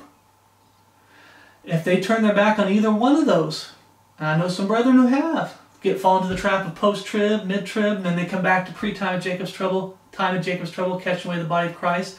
There's brethren that have turned their back on looking. It doesn't say believe, it says looking for that blessed hope. That means you're looking for the imminent return of Jesus Christ. Every day you're looking for him. That's what it means by imminent return. You don't know when he's coming back, therefore you're looking for him to come back every day with the life that you're living. There's brethren that have turned their back on that. They've betrayed the Lord, they've betrayed the word, and they're betraying the brethren. Can God forgive that? Absolutely. Can God get you back on the right path? Absolutely. How do we know this? Turn to 1 John 5. 1 John 5. You say, well, we've already been there. Well, we're going to keep going there. 1 John 5. Let's read it again. This then is the message which we have heard of him and declare unto you that God is light and in him is no darkness at all. What is our soul connected to? God, Jesus Christ, who is God the Father. Our soul is connected to the body of Jesus Christ, which is connected to God, the soul, God the Father. In him is no darkness at all. If we say that we have fellowship with him and walk in darkness, we lie and do not the truth. But if we walk in the light as he is in the light, we have fellowship one with another, and the blood of Jesus Christ, his Son, cleanses us from all sin. All sin, including betrayal. If we say that we have no sin, we deceive ourselves, and the truth is not in us. If we confess our sin, he is faithful and just to forgive us our sins and cleanse us from all unrighteousness. That's only for this time period death of Jesus Christ to the resurrection of Jesus Christ. This is the only time period where all sin can be forgiven. All sin. There is no unpardonable sin today. You can betray God. You can betray man. You can betray brothers and sisters in Christ. God will forgive you. You have to humble yourself and come to Him broken. You will not lose your salvation if you do this. You'll lose rewards. You'll have a lot to answer for at the judgment seat of Christ. But you can't lose your salvation. If we say that we have not sinned, we make him a liar, and his word is not in us. Can God forgive you if you feel like you betrayed him? Can God forgive you if you feel like you betrayed a brother or sister in Christ? Oh, yeah. God can forgive betrayal. What that's talking about, brother, sister Christ, is you had a man that was physically present on the earth where Jesus was there, and Jesus said, That man, that man, talking about Judas Iscariot. He said, I brought that one up because some people feel like I've dealt with some people trying to witness to them, and they feel like God won't save me. I betrayed him. I betrayed him. God won't save me.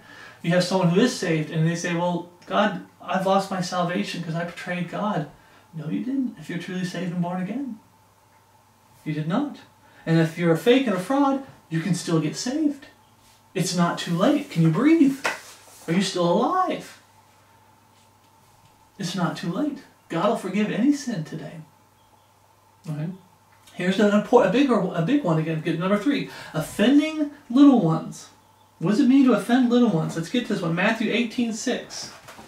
Matthew 18, 6. Notice where we're at. Are we have I, have used the Pauline epistles to talk about some of the verses we have talked about, but when it actually names these unpardonable sins, where do we keep turning? Old Testament or a different dispensation. We're not turning to the Pauline epistles initially to start out with. Why? Because it's not for today. But Matthew 18 6. Matthew 18 6.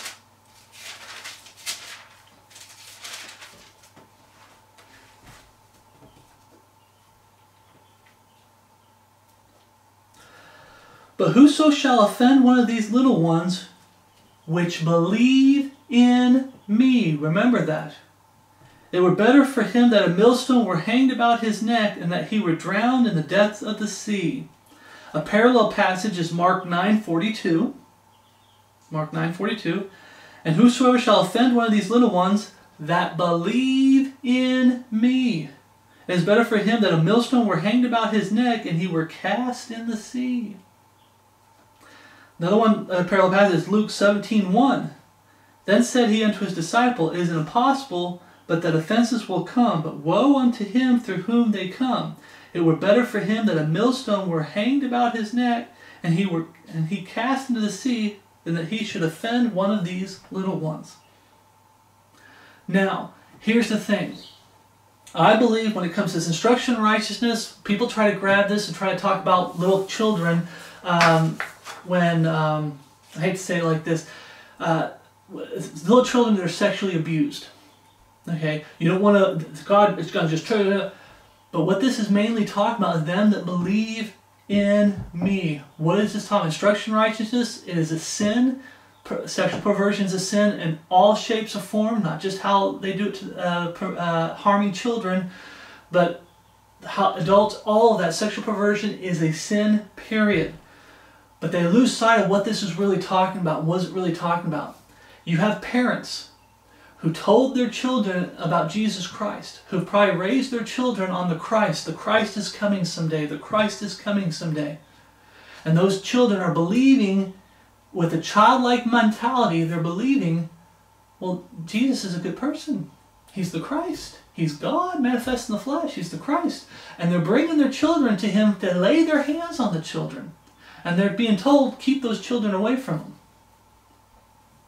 Okay? I believe this can only happen when Jesus is physically present on the earth. Okay? Does this do I believe this is an unpardonable sin? Absolutely.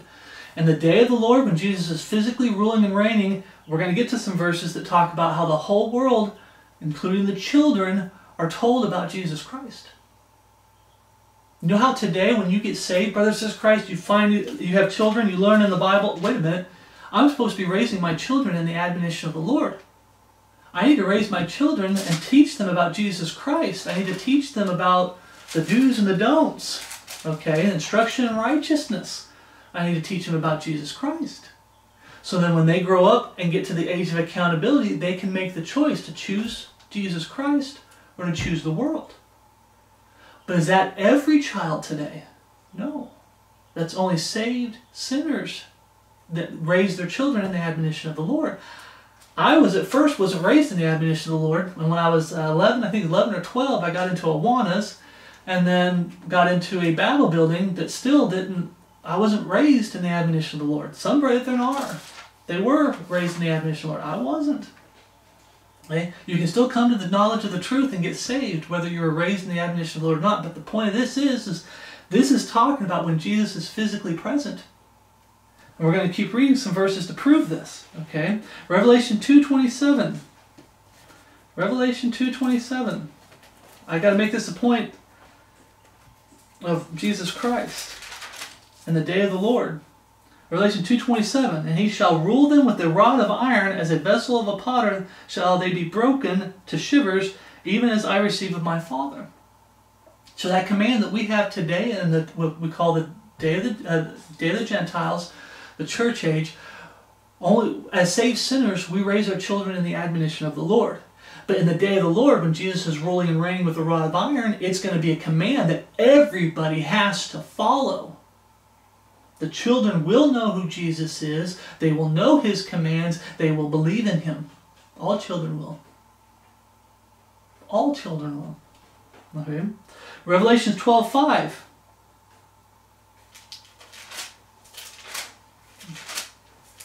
We see this over here again. Revelations chapter 12, verse 5. And she brought forth a man child who was to rule all nations with a rod of iron, and her child was caught up unto God and to his throne. Rule the nations with a rod of iron. See, the commands that we have as Christians are for Bible believing, God fearing men and women. The lost world isn't going to get it. We don't go to the lost world and command them to raise their children in the admonition of the Lord. We go to them and we tell them about their sin.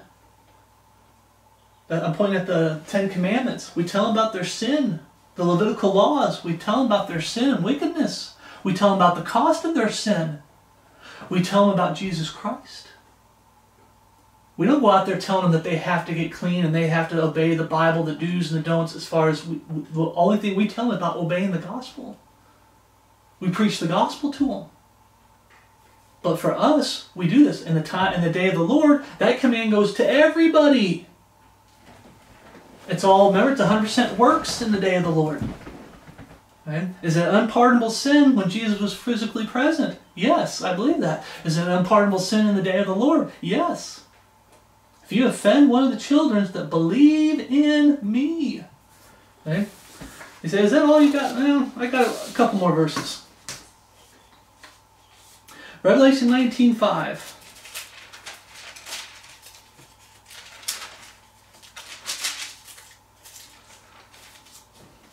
Uh, Revelation 19.5 And out of his mouth goeth a sharp sword, that with it he should smite the nations, and he shall rule them with a rod of iron.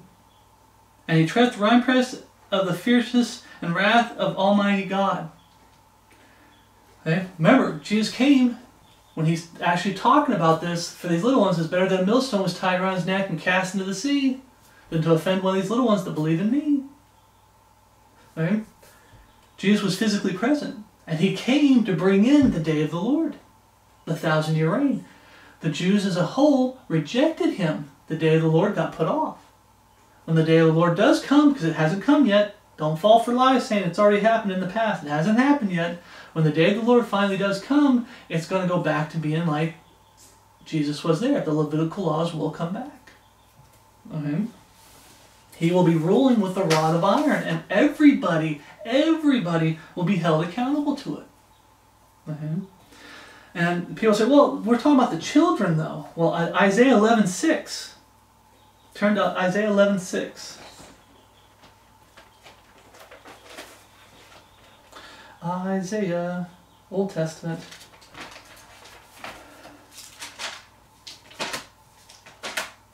Oops, too far. Isaiah 11:6. No, it's not Isaiah.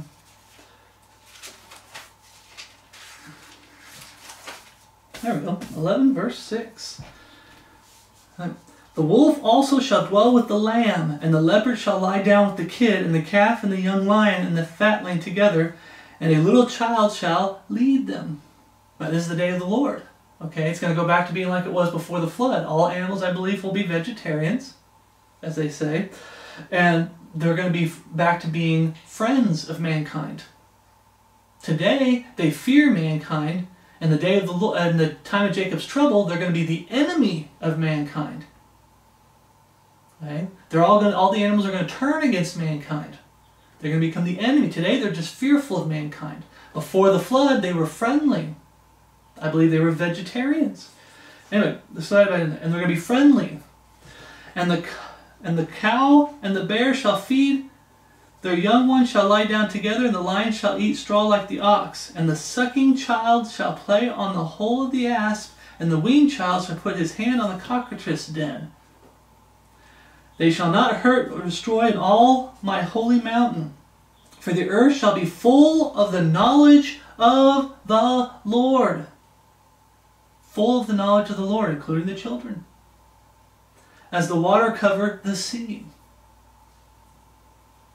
When Jesus was physically present, you had people telling their children about him. Like I said, I believe they're telling their children about him and everything. And when they're telling them, hey, keep those children away from him, they're hurting those children's mindset of who Jesus is. He hates us. He doesn't want anything to do with us. Maybe he's not really the Christ. And they're just children. Okay? You're offending the children. That's what Jesus is saying. Okay? that believe in me. They were taught by by um, people that were faithful to the Christ is coming someday.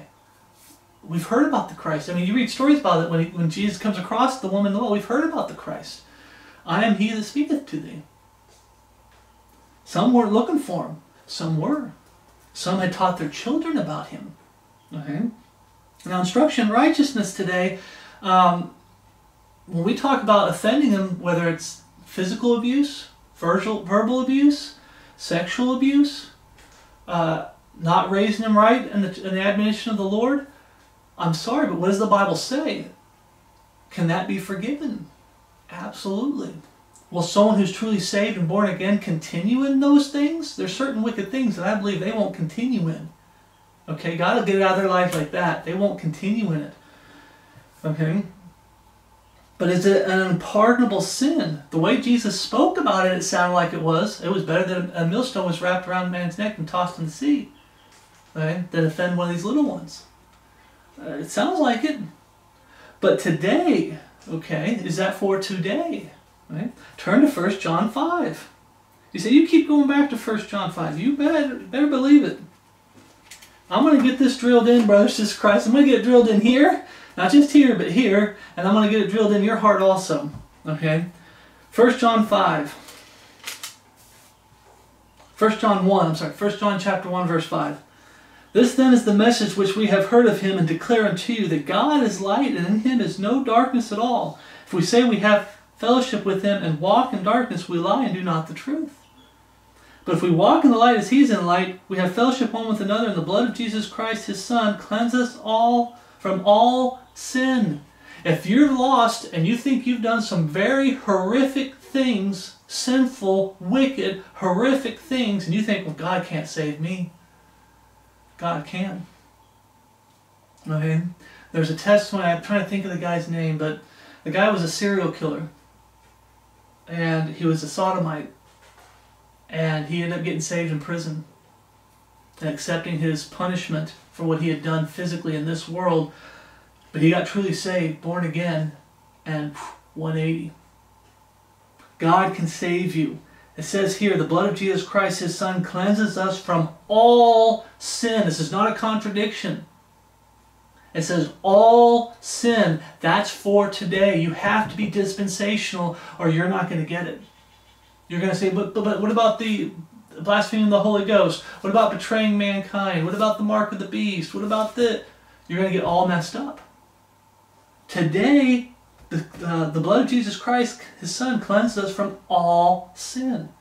If we say that we have no sin, we deceive ourselves and the truth is not in us. But remember what Paul said He that nameth the name of Christ depart from iniquity. There's sanctification, there's a changed life. You're not going to continue in those sins anymore. But God can save you if you did them. Okay? God can save you. Okay? God, if you're saved, God can forgive you. If we confess our sins, He is faithful and just. And I'm talking about all sins, but there's some sins I still believe with my heart that God will get them out of your life ASAP. There is no, I keep falling back into it and I've been saved for 20 years. Okay? He is faithful and just to forgive us our sins and to cleanse us from all unrighteousness. It says all unrighteousness.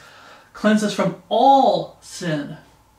If we say that we have not sinned, we make him a liar and his word is not in us. His word is not in us.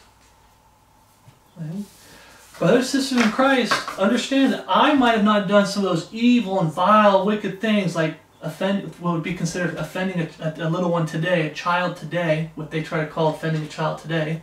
Remember that said that believe in Jesus Christ, but offending a child I might not have ever been physically abusive, verbally abusive, uh, sexually abusive to a child. Okay, I've never done that. You might have never done that. But brothers in Christ, we're not to hold ourselves above them and say that makes us better than them and you can't get saved, but I can. Uh, no. You blaspheme the Holy Ghost? I've never blasphemed the Holy Ghost. I mean, according to the Scriptures, blaspheme the Holy Ghost. Have I used the Lord's name in vain? I think I had. I'm pretty sure I had in my lost life. Like I said I wasn't a big. I was raised with clean mouth as far as no cussing, but you watch TV and you start as a kid. You start learning these things from television and um, Hollywood movies and whatnot. And you might I might have slipped up and said it a couple times, but does that mean I look down on people that are lost that do those things, that curse, cuss? I, I don't like to hear the cussing. I go, Ugh. but I don't look down. I try to preach the gospel to them so they can get saved. Okay, can God forgive sins? Absolutely. But remember that unpardonable sin, I believe, has to do with the children being raised. Uh, and taught the knowledge. Remember what we read back there? It said, "For each shall be, for the earth shall be full of the knowledge of, of the Lord." That's talking about the day of the Lord, and Jesus was there to bring in the day of the Lord, and he's preaching to them, "Repent, for the kingdom of heaven is at hand." He's preaching the kingdom of heaven, and when the Jews as a whole started rejecting him, then he started telling his apostles about his death, burial, and resurrection. Okay, the kingdom got put off, but he still had to offer that kingdom. You say, "Well, if he was God, wouldn't he know that?" Yes, but he still had to offer it. He still had to offer it, brothers in Christ. He had to offer them the kingdom. So he had to preach the kingdom and things that pertaining to the day of the Lord. Right? Let's get to the fourth one. Mark of the beast. Mark of the beast. Revelation 14 9. We're already kind of close. Revelation 14 9.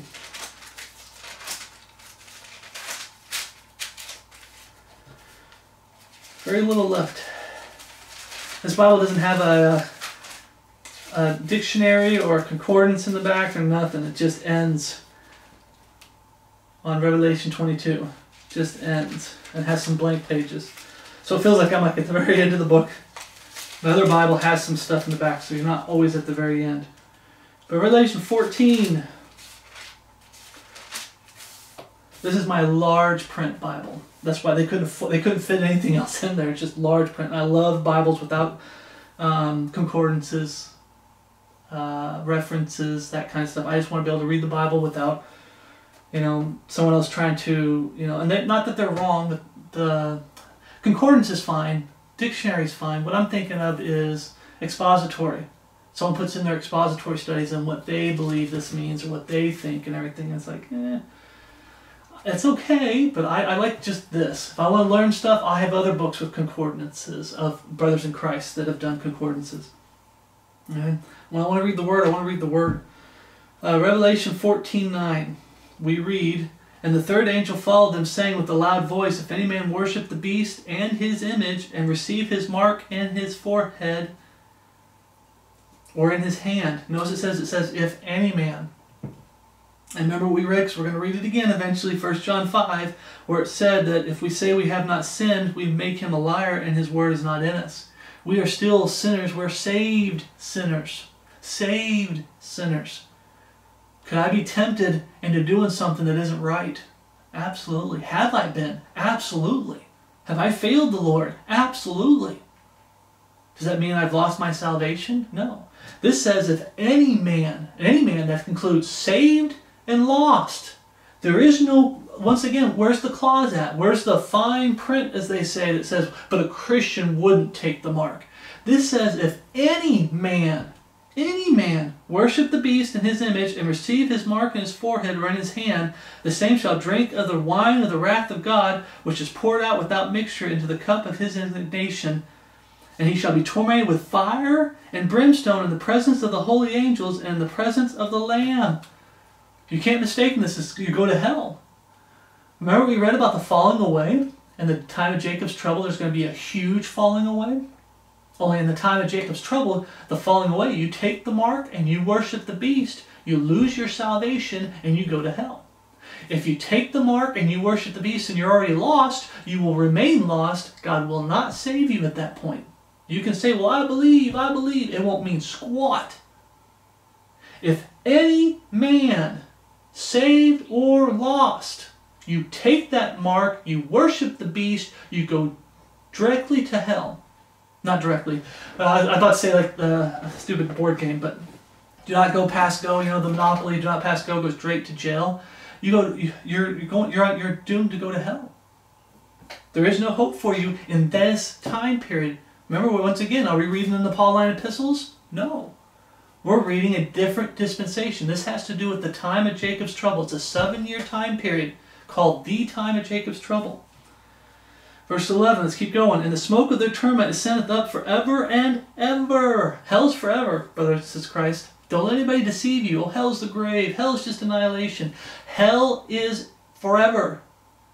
As long as God lives, hell is going to be there. As long as God is alive and we serve a living God, you're going to be punished for as long as He's alive.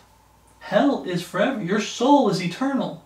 Not us. I'm talking about our soul is eternal too, but I'm not talking about us because I almost sound like I was saying we're going to hell. The lost world, anybody that goes to hell, you have a soul that's eternal and it's going to burn for all eternity. All eternity. It's a special kind of fire that's down there. It's not like the fire we have today. Once it burns out, it goes out. The people always try to liken it to the fire that we have today. Well, no. Read the Old Testament. Some of the fire that came down from heaven and lapped up the, the water uh, with um, Elijah. When he set up the wood, he set up the offering. He had him pour water on it five or six times. He had a moat around it. It was just water galore. And the fire came down whew, lapped it all up. Just like that. Because it's a special kind of fire. Right? It's fire from the Lord. Right? It's not the fire that we have today where the once like I have a wood stove. Once the wood in there burns out, the fire fizzles out and it goes out. That's not the kind of fire that's in hell. Right? Remember that. Torment sent forever and ever, and they had no rest day nor night, who worship the beast in his image, and whosoever receiveth the mark of his name. Here's the patience of the saints. Here are they that keep the commandments of God and the faith of Jesus. Is this an unpardonable sin? Absolutely. Revelation 19.20. Turn to Revelation 19.20.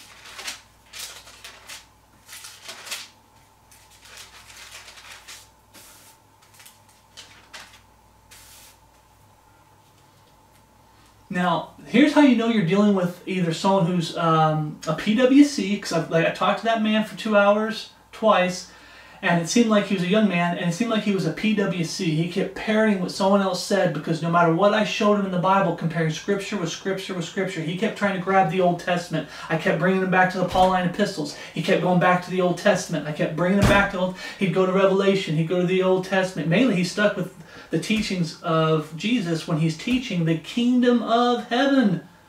The day of the Lord, that physical thousand year reign, is what Jesus is preaching, and he keeps grabbing that and applying it to today. It's frustrating when you deal with people like that. So you're either dealing with somebody who's ignorant of scriptures and they're PWC, or you're dealing with a snake. And I, hear me when I say this. When it says, if any man, if they sit there and tell you that, oh, Christ, no Christian would take the mark of the beast, you're dealing with a snake. I'm talking about preachers. You're dealing with a snake you're dealing with a wolf in sheep's clothing. Okay? This says, if any man take the mark. The church is not going into the time of Jacob's trouble. Why? Because we just read, and we're going to read it again in 1 John um, 5, 1 John 1 5. We're going to read that again, where today all sins are forgiven. Any sin can be forgiven today. So anytime you come across something like this, that says, if any man worship the beast in his image and receive his mark, they go straight to hell. If any man, saved or lost, that falls under any man young or old, any man. And I'm talking about mankind, young or old, man or woman. Okay? You take the mark and you worship the beast, you go to hell. If any man, period. Well, that seems to contradict what, what Paul tells us today, where we and John says for today, because this is John talking about the future, time of Jacob's trouble, and then you have First John 1 5, where it talks about today, God will cleanse us from all unrighteousness. If there was a mark in a beast to worship today, which there isn't, if the, yes, brothers and sisters Christ could be deceived into doing it, and yes, God can forgive it if it was for today, but it's not for today. It's for the time of Jacob's trouble. Okay? They don't have that 100% assurance of salvation in the time of Jacob's trouble that those that keep the commandments of God and the testimony of Jesus Christ is what's going on in the, in the, time of Jacob's trouble. You have to keep the commandments of God and the testimony of Jesus Christ. There's faith and works in the time of Jacob's trouble. Today it's faith. Good works follow true conversion, but today it is faith. You fail the Lord, you fail to do those good works, God will forgive you, pick you back up, and put you back on the right path to get you back to doing the good works. Okay? He doesn't just forgive you and you can continue in the in the bad works. You didn't want forgiveness if you continue in the bad works. If you truly come to him repenting, God will forgive you today. Okay?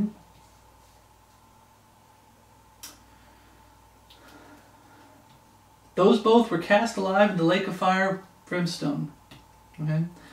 Uh, Revelation 19 20. Let's read it real quick. Um, and the beast was taken, and with him the false prophet that wrought miracles before him, which with which he deceived them that had received the mark of the beast, deceived them that received the mark of the beast, and them that worshipped his image. They deceived them. Okay, if no Christian would take the mark, then they're not deceived. They're deceiving people. Now, don't get me wrong, they can deceive lost people, but it's called deception. That's why it says, if any man, can Christians be deceived today? I mean, just look at today, brothers and Christ. Is it possible? Are we seeing brethren fall away? Are we seeing brethren being deceived today? when it comes to the major doctrines, when it comes to instruction righteousness, when it comes to the Bible version issue? Are people being deceived today with worldliness? Or there's brethren, the brother in Christ that's worried more about what's going on in the world, and he's getting so fearful. Why? Because he turned his back on the imminent return of Jesus Christ. He turned his back on looking for that blessed hope. He's not looking for Jesus Christ. He doesn't have his eyes on Jesus Christ. Can God, do brethren fall away today? Yes. Can God forgive that today? Yes. In the time of Jacob's trouble, you take that mark, you worship the beast, and any man can do it, saved or lost, in that time period. Any man can do it. And in that time period, the, the salvation is no longer just faith. It's to keep the commandments of God and the testimony of Jesus Christ. Okay? They deceive them that have received the mark of the beast, them and them received the mark of the beast, and them that worshipped his image these both were cast alive in the lake of fire. They're going to the same place that anybody that takes the mark and worships the beast. Okay? We know that this is not for the time of the Gentiles, but the time of Jacob's trouble. Luke 21 24 says, Luke 21 24.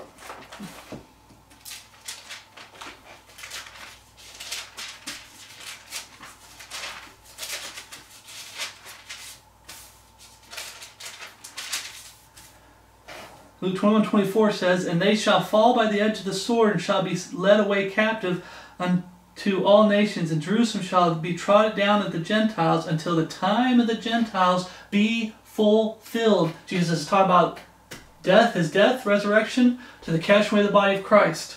Uh, the kingdom of heaven suffereth violence, and the violence take it by force. They've been fighting over Jerusalem. Look at history. They've been fighting over that land out there for, for years. For years. Okay? For 2,000 years, they've been fighting over that land. Okay? The time of the Gentiles. Why does it separate the time of the Gentiles from the time of Jacob's trouble? Jer- Jeremiah 37. You see, where, where do you get the time of Jacob's trouble? Turn to Jeremiah verse 30.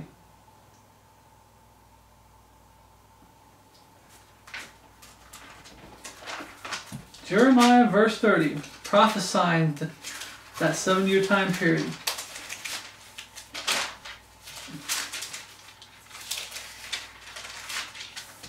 Jeremiah 30 verse 7 says, Alas, for that day is great, so that none is like it. It is even the time of Jacob's trouble, but he shall be saved out of it. There are, there are Jews that have this that are they're given the seal in the forehead and they don't take the mark and they don't worship the beast and they are protected during that time period, the time of Jacob's trouble. It's called the time of Jacob's trouble. What we're in today is called the time of the of the the time of the Gentiles, where salvation goes out to the world and anybody can get saved. And it's faith, through faith, not of works. Remember that, that verse? It says uh, Ephesians 2 8 and 9. It's not in mine, but my notes, but Ephesians. Thank you, Lord. Ephesians 2 8 and 9 and 10. For by grace are you saved through faith, and that not of yourselves is the gift of God, not of works. In the time of Jacob's trouble, there's works. They keep the commandments of God and the faith of Jesus Christ. If any man takes the mark and worships the beast, it goes hand in hand. There's works involved in salvation. Today, there's not. If you're not dispensational, that's a contradiction. No, it isn't. I'm dispensational because the Bible says to rightly divide the word of truth. The body of Christ is not going into the time of Jacob's trouble. How do we know that? Because you can lose your salvation in the time of Jacob's trouble. There's an unpardonable sin in the time of Jacob's trouble. But is that for today? No. Not of works, lest any man should boast. For we are his workmanship, created in Christ Jesus unto good works. Good works follow conversion. But good works isn't what saved us. Okay? God's grace through faith is what saved us. And after God saves us, like he said, the old man is dead and buried. You gave your life to Jesus Christ. The new man comes up and says, Lord, command me. And the Lord says, Do this, don't do that. And he shows us through his perfect written word how to live our lives. Good works will follow true conversion, which God hath before ordained that we should walk in them. It's before ordained that when you get saved and born again, you're going to have a new life, new creature in Christ Jesus. God's going to command, you're going to obey. Right? That's just for us, saved sinners. The lost world doesn't obey God's commands. They could care less about God. But in the day of the Lord, it's going to be different. But the time of Jacob's trouble, we see there, there's works involved. Okay?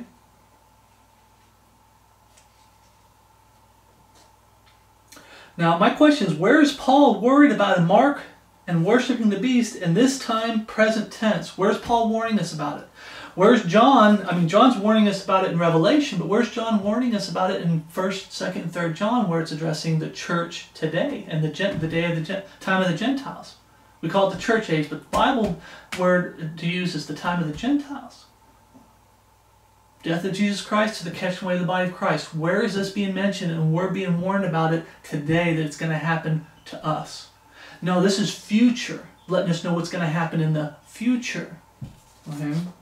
And that book of Revelation, everything is there for the for people, the fakes and the frauds, and the people who flat out reject Jesus Christ. When we get caught up, they end up going into the time of Jacob's trouble. Then that book of Revelation is really going to apply to them big time. They're going to have to go off of that book to survive, and they're going to have to listen to God's commands to keep from losing their salvation if they truly get saved in that time period. It's not going to be just repent and believe in the finished work of Jesus Christ, confess both in prayer and ask God to save you. That's there. But now there's an element of works that gets added. Don't take the uh, mark and don't worship the beast. You can get you can get saved, but that salvation you're no longer sealed into the day of redemption. The redemption already happened. Remember that. We're going to get into that verse. Remember that verse, brothers and sisters? You're sealed until the day of redemption. But after the day of redemption happens, the catching away of the body of Christ, you're not sealed anymore. There is no seal in the time of Jacob's trouble. You take the mark and you worship the beast, you go to hell. So what do these people got to do that aren't dispensational? They've got to make a mess of the Bible and say, well, well, the church goes into that time period then, and, and the catching up doesn't happen until the end of the time of Jacob's trouble. That's nowhere in Scripture. Okay? It's nowhere in Scripture. Okay? We're sealed into the day of redemption, and the day of redemption is the catch away of the body of Christ, which happens before the time of Jacob's trouble. Okay, he who now let will let until he be taken out of the way. We are hindering the Antichrist from showing up and starting the time of Jacob's trouble. And I don't say we like we have a choice. I'm saying as long as we're here and God says it's not time, the Antichrist isn't going to show up. The man, the man of sin, the son of perdition, the beast. That time period, that seven year time period, is not going to start yet. When God says, okay, enough's enough, come up hither, then that time period can start.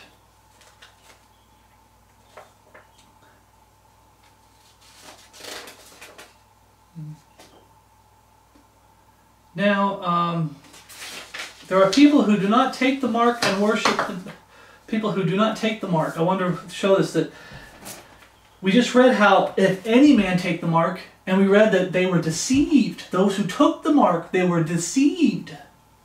And they're acting like no Christian today can ever be deceived. You know who normally says that? Wolves in sheep's clothing, snakes, serpents, vipers wicked men who are on their way to hell and they want to drag as many people to hell with them. And if you're saved, they want to mess you up as a Christian. Okay? It says they were deceived that took the mark. And who deceived them? The false prophet and the beast. Those are the two that deceived the world and, and most people into taking the mark. But did everybody take the mark? Revelation 15 2. This is not really talked about that much. Okay? Well, no Christian would take the mark. Please. Yes, they would. Okay. Revelation 15 2.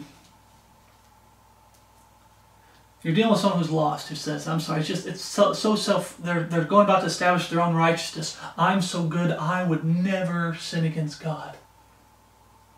If we say we have no sin, we make God a liar and his word is not in us. Revelation 15 2. And I saw as it were a sea of glass mingled with fire, and them that had gotten the victory over the beast, and over his image, and over his mark, and over the number of his name, stand on the sea of glass, having the harps of God, and they sing the songs of Moses, the servant of God. Songs of Moses, the servants of God. And the song of the Lamb, and the song of the Lamb. So you have Jews that make it through that time period, the time of Jacob's trouble. It's predominantly for the Jews. But the song of the Lamb, you've also got I believe, uh, Gentiles. There's going to be some Gentiles that make it through. Saying, Great and marvelous are thy works, O Lord God Almighty. Just and true are thy ways, thou King of saints. Who shall not fear thee, O Lord, and glorify thy name? For thou only art holy, for all nations shall come and worship before thee, for the judges, for the judgments are made manifest. It's going into the day of the Lord. All the nations will come before him in the day of the Lord and worship him. Absolutely. Okay? You know, turn here, but Revelation 24 says, And I saw thrones, and they that sat upon them, and judgment was given unto them, and I saw the souls of them that were beheaded for the witness of Jesus and for the word of God, and which had not worshipped the beast, neither his image, neither had received his mark upon their forehead or in their hands, and they lived and reigned with Christ a thousand years. So you have people that live through that time period, which is very hard. That's predominantly, I believe, going to be the, the Jews that are sealed in their forehead, or what's going to make it through, predominantly. And you're going to have a lot of people that get saved and refuse to, to take the mark, refuse to worship the beast, and they're beheaded for it. So there are people that don't do it, they don't take it, but it's not you're you're going to be deceived into believing they're like robots. When the time of Jacob's trouble happens, they're just they're forced into not taking it. Those who took it were never saved to begin with. Almost like, you know, that uh, predestination. They were predestined to go to hell, and these that didn't take it, they were predestined to go to heaven. They were forced into not taking the mark. That's not there. It's still mankind has a choice. They can choose to take the mark, or they can choose not to take the mark. And the pressure, and the temptation, and the deception to take the mark in that time period is going to be so great. You look at today and you imagine today, there I'm in an area where I'm trying to do a garden, I'm trying to hunt, I'm trying to fish, I'm trying to find ways that if we hit hard, hard times, because I believe every day looking for the Lord, but I understand that we might have some hard times. I'm not against that. I'm just against prepping like you're going through the time of Jacob's trouble. You can always go through some hard times.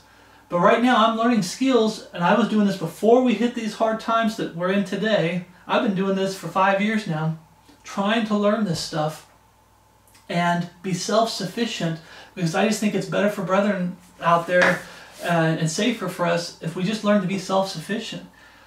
But I go to the grocery store, everybody's dependent on that grocery store. You take that grocery store away, what's going to happen to people? Here's a mark, you have to take this mark and you have to worship the beast if you want to get food from this store. Oh boy. Stop and think about that, brother. Everybody, the, uh, I'm just thinking, and I don't have brethren in other countries, but I'm thinking of the U.S. But even in other countries, when I went to other countries, it seemed like a lot of the families, like when I was in Germany and stuff like that, it seemed like a lot of the families were still more dependent than ever on the grocery stores. A lot of the other countries I was in, it seemed like a lot of them, like the Philippines, they were very dependent on the stores. They weren't, for, as a whole, they weren't providing for themselves. Okay? When that gets taken away, and you don't, and they don't know how to how to take care of themselves and provide for themselves, you think that's not going to be a big temptation and a big deception, a big you know push to take the mark and worship the beast?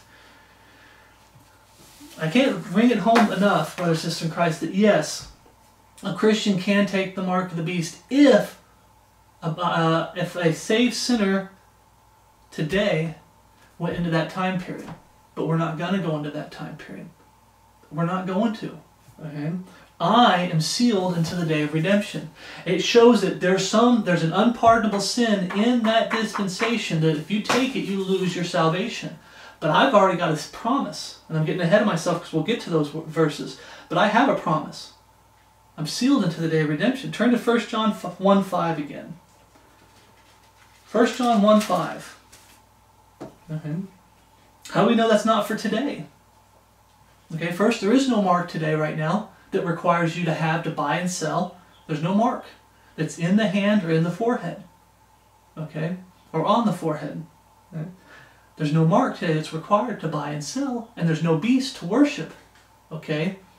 The man of sin, the son of perdition, the beast, uh, what we call the ultimate antichrist. That's why we call him the antichrist. He's the ultimate antichrist because he will be an antichrist, but he's the ultimate one. Um, he's not here. Right? It's not for today. Is this an unpardonable sin? Absolutely. Beyond a shadow of a doubt, yes. You commit this sin, you go to hell. But the better question to ask is Is this unpardonable sin for today? See, that never gets asked. Just says, Is this an unpardonable sin? Yes, it is. So therefore, you can lose your salvation. And they just start deceiving you. No. Is this unpardonable sin for today? No. It's for the time of Jacob's trouble. We're in the time of the Gentiles. That's for the time of Jacob's trouble. Okay? Luke 21 24 reads, And they shall fall by the edge of the sword, and shall be led away captive in all nations. We read this before. And Jerusalem shall be trodden down of the Gentiles until the time of the Gentiles be fulfilled. We're in the time of the Gentiles, the death of Jesus Christ to the catching away of the body of Christ before the time of Jacob's trouble. It's called the time of the Gentiles because salvation is not just of the Jews, which it was when Jesus was physically there. He said, Jesus said himself, for salvation is of the Jews. But why is it called the time of uh, the Gentiles? Because salvation has gone out to the world. Salvation is no longer just of the Jews, it's for everyone. And the Gentiles get included. Okay? We're not in the time of Jacob's trouble. 1 John 1 5, what is, that's, this is what the time of the Gentiles is all about. This then is the message which we have heard of him and declare unto you that God is light and in him is no darkness at all. If we say that we have fellowship with him and walk in darkness, we lie and do not the truth. Right? There is a changed life after salvation. But if we walk in the light as he is in the light, we have fellowship one with another, and the blood of Jesus Christ, his Son, cleanses us from all sin, including the sin.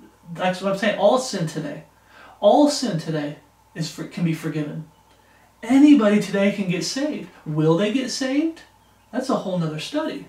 Okay, there's some people that God gave them a chance, time and time again, they've had a chance to get saved, chance to get saved, and they themselves have hardened their heart to the point where God says, I'm done offering.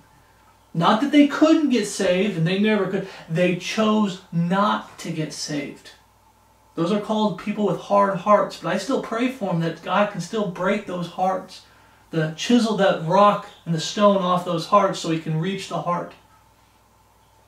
But sometimes we feel like with some people you tell us like, I don't know if it's possible. He's rejected you so many times, Lord. His heart is so hardened. I don't know if he will get saved. Not that he can't get saved. Will he get saved? Like I said, it's a whole other study. But today, God can save anybody that will come to him broken. Broken. Whatever's in your hand that you're holding on to for the lost world, whatever's in your hand, we have testimonies, brothers and sisters Christ, of what took us so long to get saved because there was things we were holding on to and God had to break us to get us to let go. There's things in this world that's not worth going to hell.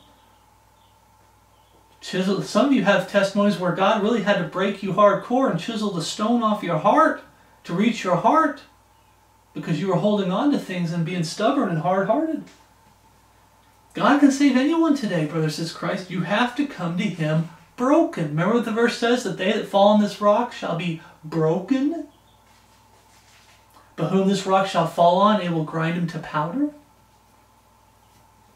Oh yeah. If we say we have no sin, we deceive ourselves and the truth is not in us. If we confess our sins, he is faithful and just to forgive us our sins and to cleanse us from all unrighteousness. All unrighteousness. We say that we have not sinned, we make him a liar and his truth is not in us. You have a lost sinner and you have a saved sinner. The saved sinner is going to live better than the lost sinner, of course, less sin, but we're called a saved sinner because we still have some sin. We're always going to struggle with sin because of this body of flesh until we get caught up and given our incorruptible bodies.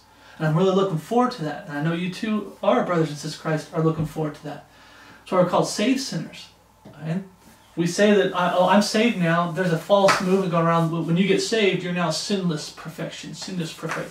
You're not sinless. God is still cleaning up and getting a lot of bad things out of your life, and you still fail the Lord from time to time. But He still forgives you. You can come to Him and ask for forgiveness today, and He will forgive you for any sin and all and cleanse you from all unrighteousness. Brothers and Christ, if you failed the Lord and you've fallen away, He can forgive you. Let's get in real quick. It's been a while video. Let's get into the last one, five. So Mark of the beast, not for today. Okay, can any man take it? Absolutely. That includes, in that time period, it's going to be saints. Church means called out assembly. So in that six year time period, you can hear the word church. But when John's caught up, it's no longer church, it's saints. I hope I got that right. But it's saints or it's church, but there's uh, the church isn't mentioned after John is caught up. Okay, it's saints. We even just read that about how the saints, okay, in that time period. Okay? The body of Christ is not there in that time period. Okay? So let's get into the sin of unbelief. Here's a big one, so because some people still teach this. The sin of unbelief. The only unpardonable sin today, brothers and Christ, is the sin of unbelief. Is that true? Okay. Now I understand what some of them are trying to say, and we're going to get into it a little bit more. If you die in unbelief, you go to hell. But I'm going to get ahead of myself and I'm going to say this. You die in any of your sins. All your sins are what's sending you to hell. Not just unbelief, all your sins.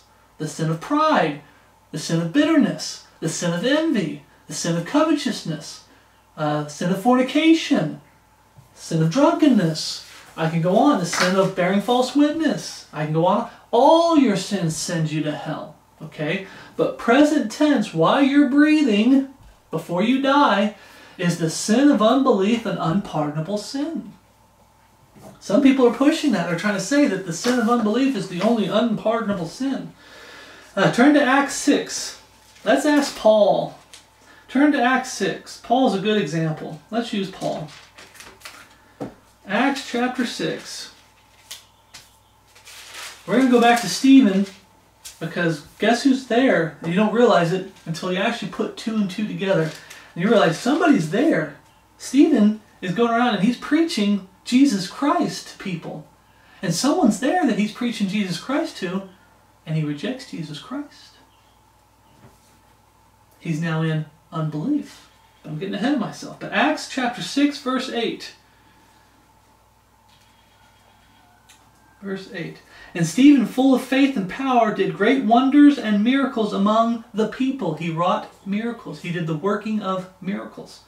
Whole nother study. Someone, someone taught that working of miracles are still on for today. No, it isn't.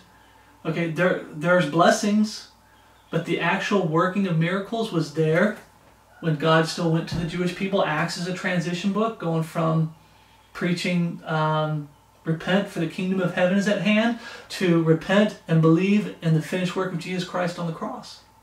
They're still trying to bring in the, the day of the Lord, the kingdom of heaven. Okay? That's still there a little bit. Okay? So you have the miracles being wrought then. Those miracles will be brought back in the time of Jacob's trouble when God goes back to dealing with the Jewish people. Okay? It was there at the beginning, and then it came to a point where those, those uh, signs and wonders, gone. And now it's just going to the Gentiles only, for the most part. Right? But it says here, working miracles among the people. Then there arose certain of the synagogues, which is called the synagogue of the Libertines, and Cyrenians, and Alexandrians, the Alexandrian cult, and of them of Cilicia and of Asia, disputing with Stephen. And they were not able to resist the wisdom and the spirit by which he spake. Was he speaking? He's preaching Jesus to them. Then they subjoined men which said, We have heard him speak blasphemous words against Moses and against God. False witness. People to bear false witness. And they stirred up the people and the elders and the scribes and came upon him and caught him and brought him to the council and set up false witness which said, This man seetheth not to speak blasphemous words against this holy place and the law. For we have heard him say that this Jesus, that's how we know he's preaching Jesus to him, of Nazareth shall destroy this place and shall change the customs which Moses delivered us. They're bearing false witness, but you know he's preaching Jesus Christ. And all that sat in the council looked steadfast on him, saw his face as it had been the face of an angel. Okay. So you got Paul there, uh, Stephen, I'm sorry, Stephen preaching. Let's jump over to Acts 7.51.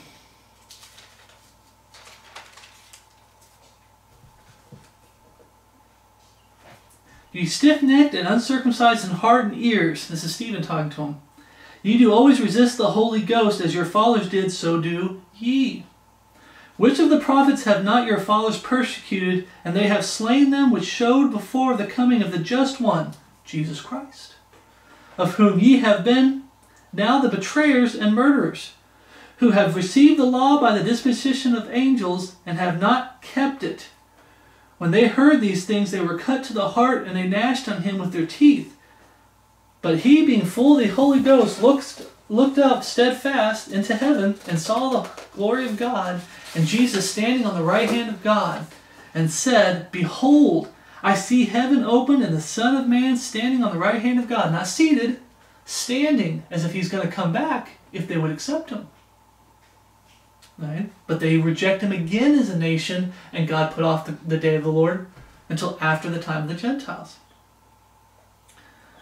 Then they cried out with a loud voice and stopped their ears and ran upon them with one accord, and they cast him out of the city and stoned him.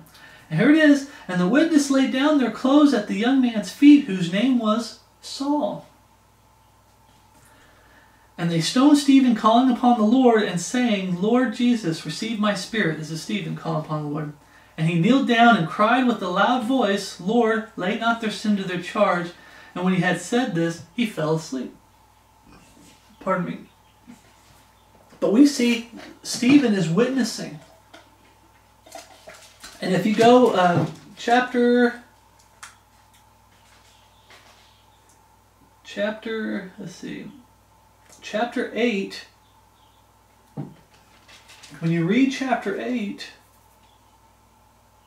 try to make sure I get this right. You keep reading, you got Philip, and he's out there preaching the gospel. And this is before Paul gets saved. This Saul, it was Saul, and then it became Paul. So you have other people out there preaching the gospel. Saul knew the gospel. He rejected it. He's now in the sin of unbelief. Can God forgive the sin of unbelief? Okay. Stephen is witnessing for Jesus Christ, and Saul, who later became Paul, was there. You say he did it ignorantly. How many times have you heard that? Oh, he just he did it ignorantly. Well, they don't like to read the whole thing. First Timothy chapter 1. Let's go to First Timothy. He's talking to a brother in Christ in the ministry. It's Paul writing a letter to Timothy, a brother in Christ in the ministry. 1 Timothy 1.12.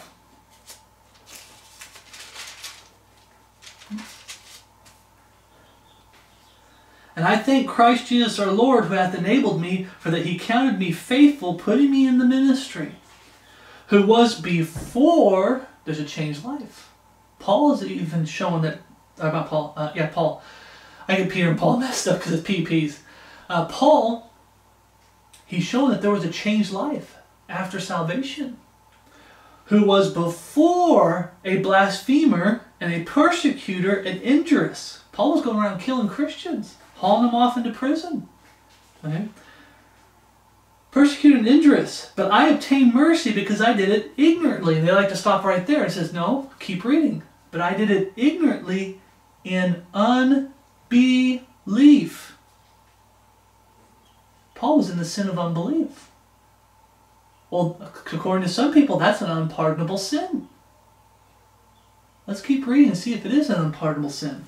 Verse 14 and the grace of our Lord was exceeding abundant with faith and love which is in Christ Jesus. You mean Jesus saved him from the sin of unbelief? Oh, yeah. Paul's talking about salvation which can only be found through Jesus Christ. God can forgive the sin of unbelief. You have to come to Him broken and cast that unbelief to the side and believe in the finished work of Jesus Christ on the cross. Can God forgive the sin of unbelief? Absolutely. Is the sin of unbelief an unpardonable sin? Absolutely not. Now, if you die, what the whole thing was is if you die in your sins, you go to hell. Every one of your sins. If you have sins that aren't washed away by the blood of Jesus Christ, so much as one sin is capable of sending you to hell. It's not that your the sin of unbelief is sending you to hell. Your sins, plural, are sending you to hell. Your pride, your ego, okay, your bitterness, your hard heart of refusing to go to Jesus Christ, humbling yourself and repentance godly sorrow for your personal sins that you've sinned against God, that put Jesus Christ on the cross. Your sins are what's sending you to hell. Right?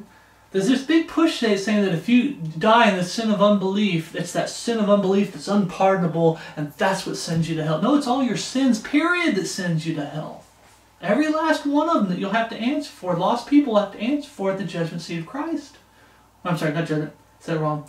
At the great white throne.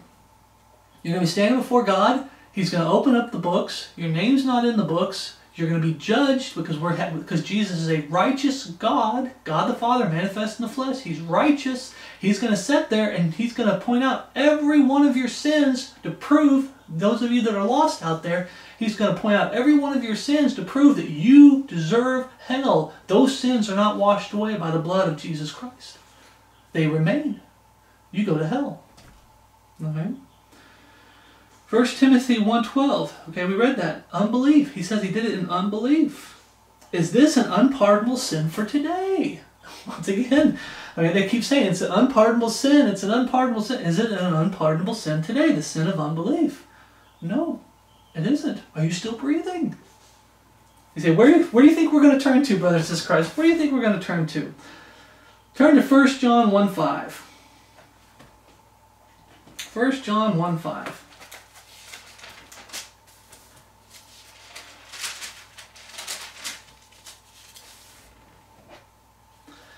This then is the message which we have heard of him and declare unto you that God is light, that light has come into the world, and men love darkness rather than light because their deeds were evil. It's their sins that prevent them from coming to the light.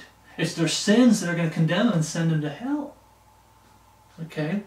The God is light, and in him is no darkness at all. If we say that we have fellowship with him and walk in darkness, we lie and do not the truth. It goes back to uh, Romans 8. Being carnally minded and walking after the flesh is walking in darkness. But being S, spiritually minded and walking after the Spirit is walking in the light as He is in the light. Right? Verse 7 But if we walk in the light as He is in the light, we have fellowship one with another, and the blood of Jesus Christ, His Son, cleanse us from all sin, including the sin of unbelief. I was once in the sin of unbelief. Brothers in Christ, you were once in the sin of unbelief. Did God save you? Yeah, if you're truly saved. Did God save me? Absolutely. Did God save Paul? Absolutely. If we say that we have no sin, we deceive ourselves, and the truth is not in us. If we confess our sins, He is faithful and just to forgive us our sins and cleanse us from all unrighteousness, including the so called sin of unbelief. If we say that we have not sinned, we make him a liar, and his word is not in us. Remember that when you die in your sins, unbelief, every one of your sins are what sent you to hell, then the lake of fire. You had to go through the Levitical laws. And we hold that God, Jesus Christ sets up there and he judges the lost world according to the Levitical laws. Did you keep this? Did you keep that? Did you keep this? Did you keep that?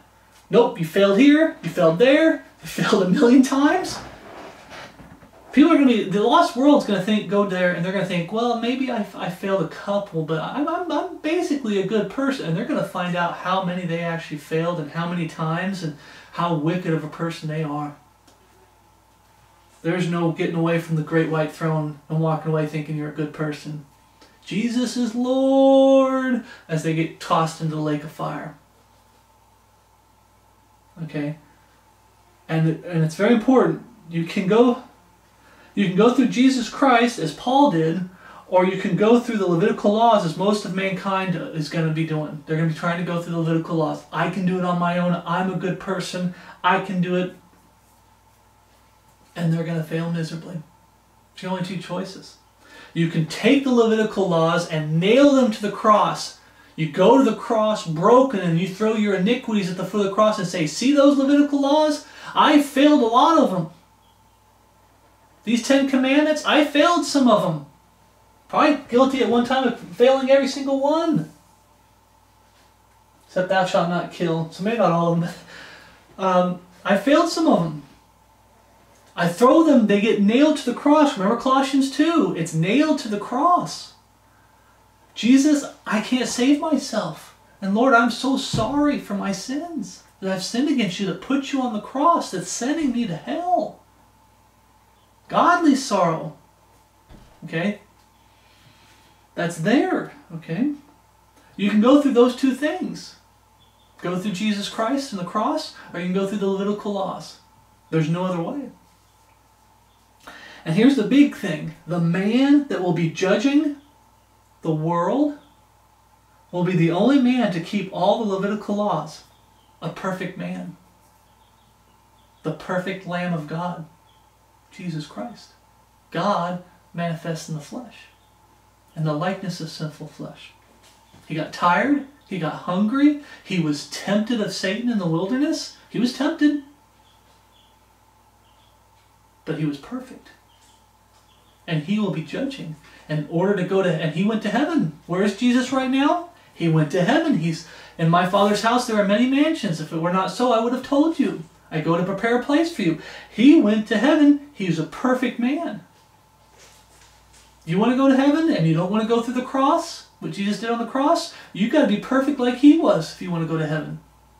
You're going to be judged by a perfect man and held to that standard of perfection. How are you going to hold up, lost world? What I mean by you, the lost world. How's the lost world going to hold up? Nobody can hold up. I can't hold up. Praise the Lord that He saved a wretched man like me, a sinner. But while you yet believe, uh, breathe, there is hope. Brothers and Christ, when you're, you're still breathing, there's hope for you. No matter how small that hope is, there's still hope for you. If you haven't got it by now, the conclusion is this, brothers and Christ. Remember, brothers and Christ, that 2 Timothy 2.15, study to show thyself approved unto God, a workman that needeth not to be ashamed, rightly dividing the word of truth, but should shun and shun profane and vain babbling, for they will increase into more ungodliness.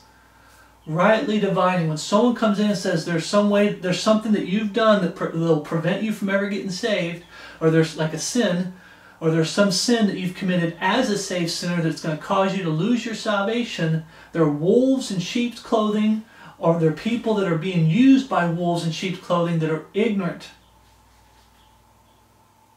Okay? But regardless of what it is, they're not following the scriptures. Okay? They're not rightly dividing the word of truth. 2 Corinthians 11.1. 1. Turn to 2 Corinthians 11.1. 1. We're almost done, brothers and Christ. 2 Corinthians 11.1. 1.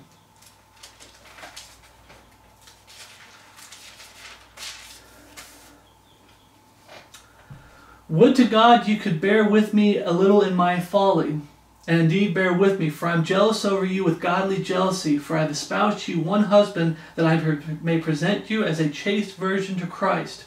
But I fear lest by any means, as the serpent beguiled Eve through his subtlety, would the serpent promise Eve? Ye can be as gods, knowing good and evil? Ye can be the authority, final authority? You can say what's right and wrong? So your mind should be corrupted from the simplicity that is in Christ. For if he that cometh preaches another Jesus, whom we have not preached, or if you receive another spirit which ye have not received, or another gospel which ye have not accepted, ye might wear might well bear with him. Who's the him? Satan. Where's Satan going to end up? We just read that in Revelation. The false prophet, the beast, and Satan are all going to wind up in the lake of fire. The true Jesus, of the King James Bible, has a zero tolerance for sin. That's true. But the Jesus uh, that has a zero tolerance for sin in this dispensation, Jesus, who is God the Father, fully and completely, okay, God the Father manifests in the flesh, okay, his blood can cleanse you from all unrighteousness. If he saves you, then you are saved. If you die in your sins without God's shed blood, and the reason we read that is because today there's a lot of false Jesuses, uh, a lot of false gospels being preached. There's an antichrist spirit that's going out in the world today not the Holy Spirit. But those people, what's preventing those people from getting saved is themselves. Not unpardonable sins, themselves. They could get saved, but they have to come to God broken.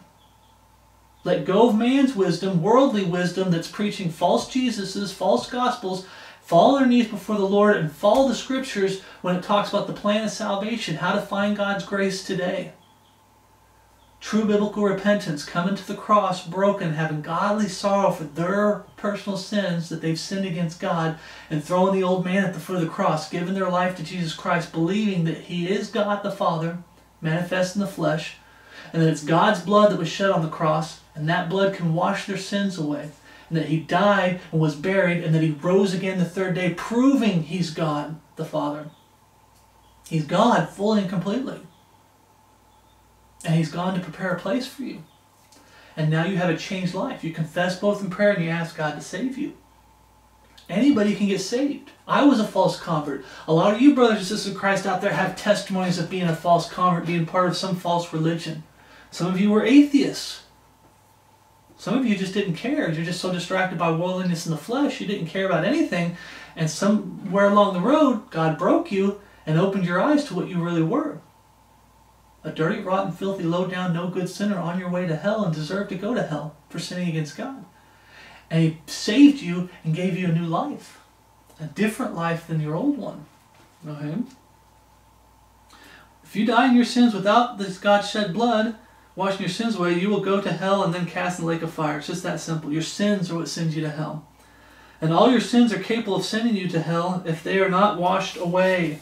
The true Jesus Christ, the true gospel, and you don't have the true capital S Spirit in you. Holy Spirit. Mm-hmm. Today, God will forgive any sins. If you haven't got that with this whole study, God will forgive any sin today. All these unpardonable sins that we mentioned, they start out in a different dispensation, predominantly the Old Testament. And what you're going to see from when it comes to sins and holding you, uh, these false religions, when they're trying to hold their people in fear of whether they have their salvation, whether they can keep their salvation, they can lose their salvation, all this fear is all about bringing them back under the law, back under works to be saved. Okay? The only dispensation of grace in the Bible that there is no unpardonable sin is today. All through the Bible, when we say dispensation of grace real quick, it's all through the Bible. There's different time periods where God's always dispensing his grace to mankind from Genesis to Revelation. He's always dispensing his grace to mankind. But how mankind finds it is different in different dispensations. Some is faith and works, some is works, uh, some is faith. Today is the only time where it's faith, through faith and faith only. Okay? People will try to mess that up and say it's faith alone through the whole Bible. No, it isn't. No, it isn't. Only dispensation of grace in the Bible that there is no unpardonable sin, and that is today. Today is the easiest. Uh, I want to say easiest, but if it was so easy, why isn't everybody doing it? Because light has come into the world and people love darkness rather than light because their deeds were evil. They love their flesh, they love their sin, they love their wickedness. That's why they reject the light. You can read that in John 3:16, but keep reading all the way down to like 20, verse 20. Okay? But today is the day that once you get saved, it's the you can't lose it. You can't lose it. Old Testament, before the death of Jesus Christ, all the way to Adam and Eve, you can lose it. Um, the time of J- uh, the time of Jacob's trouble, you can lose it. The day of the Lord, the thousand year reign of Jesus Christ, you can lose it. This is the one test. Uh, I'm not including eternity. We can't lose it in eternity. But right now, this dispensation that we've been told about, we haven't been told much about eternity after the new heaven and the new earth. But right now, this is the one dispensation from the death of Jesus Christ to the catch away of the body of Christ before the time of Jacob's trouble, that seven year period falsely called the Great Tribulation, is the only time period where you can't lose your salvation. It's the only time period where there's nothing that prevents you from getting saved except you. In the Old Testament, there's sins. You could have done something wrong that prevents you from getting saved. In the time of Jacob's trouble, the day of the Lord. But today, there's nothing, there's no sin that you can commit today that'll prevent you from getting saved. God will forgive it. Right. Ephesians 4.30, we read, Ephesians 4.30. Gotta backtrack. No.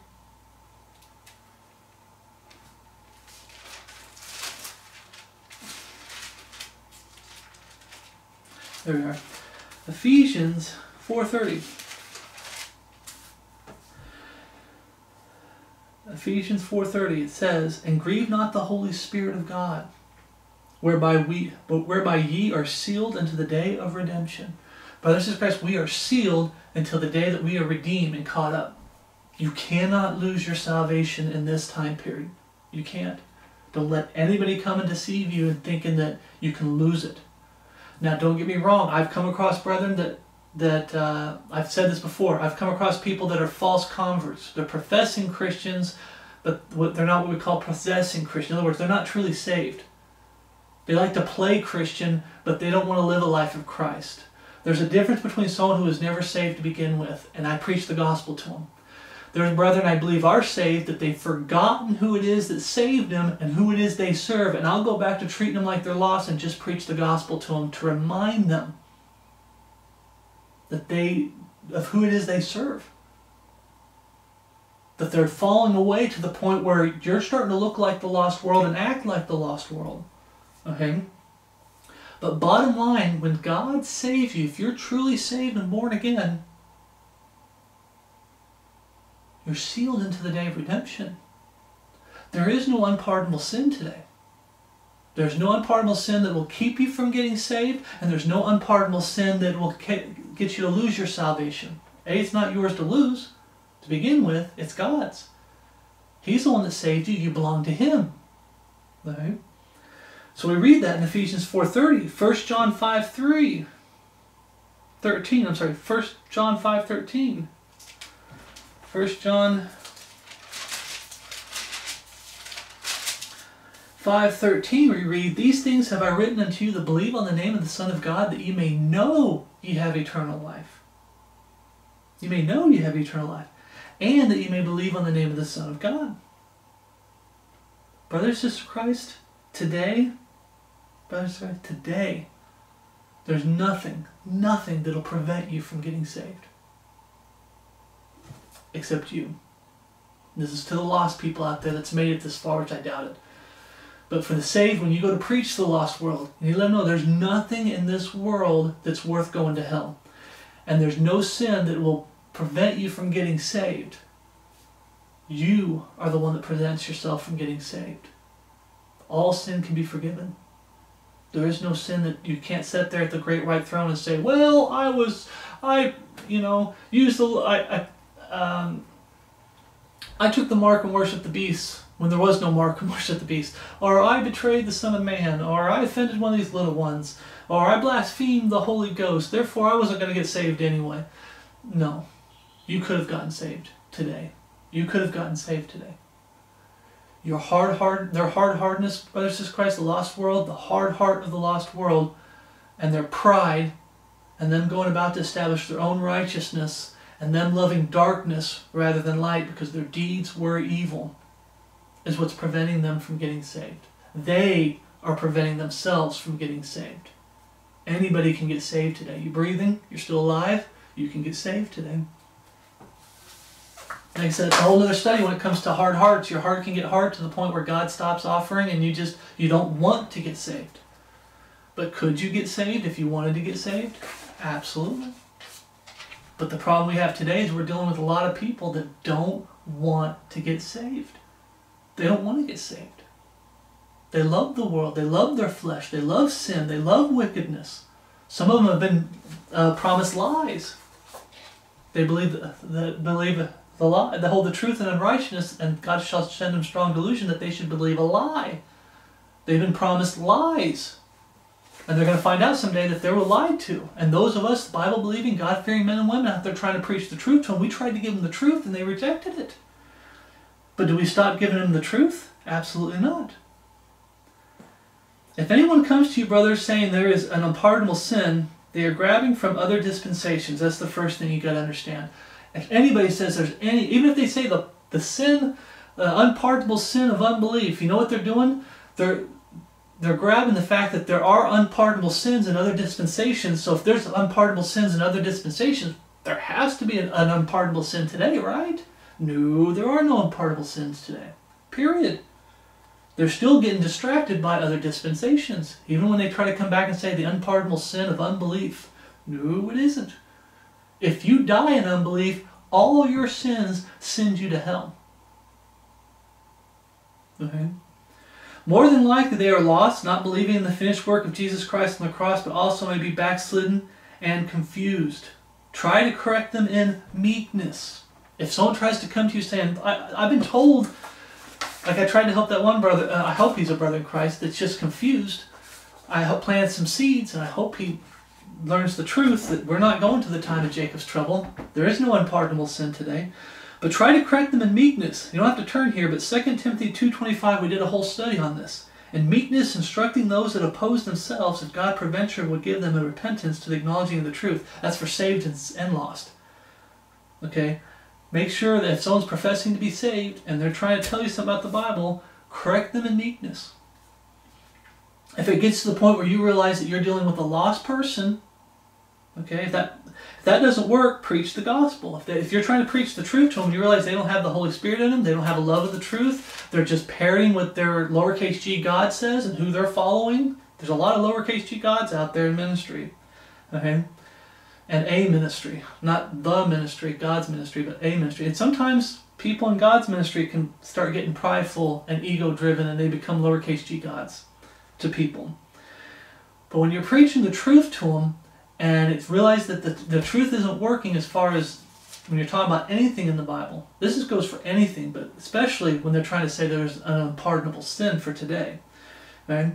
When that doesn't work, preach the gospel to them, and then Matthew chapter 15, 14 says, let them alone.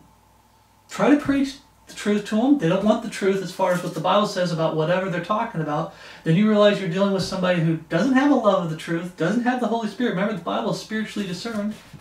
The Holy Spirit's what opens the scriptures to us and teaches us. Then preach the gospel to them. They get most of the time. I get people get really mad at me when I link the gospel to them.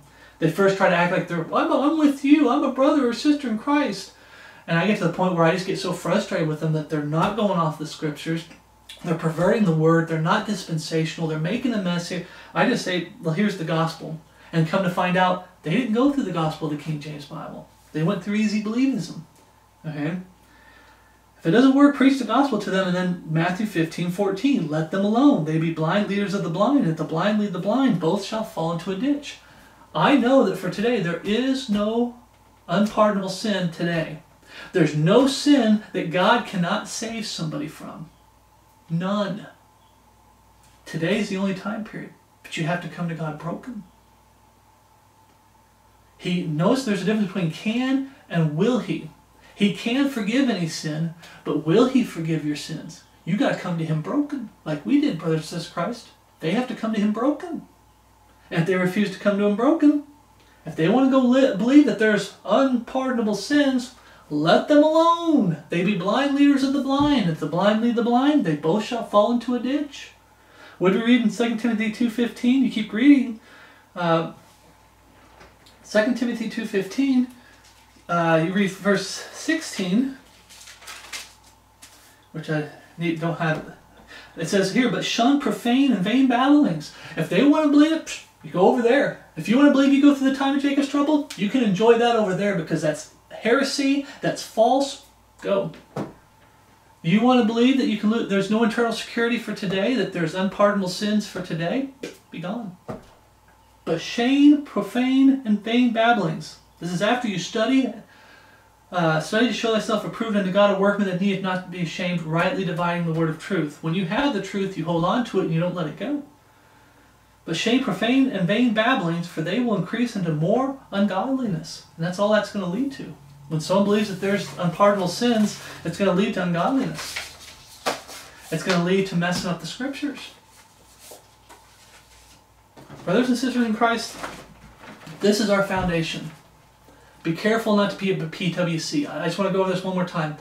With the sin of unbelief, I understand what someone say. If you die in unbelief, your sins are not washed away. They're not washed away by the blood of Jesus Christ, and you will go to hell. Absolutely. But it's your sins that are sending you to hell. The sin of unbelief is still not an unpardonable sin. Paul was pardoned. I was pardoned. Brothers and sisters in Christ, you were pardoned.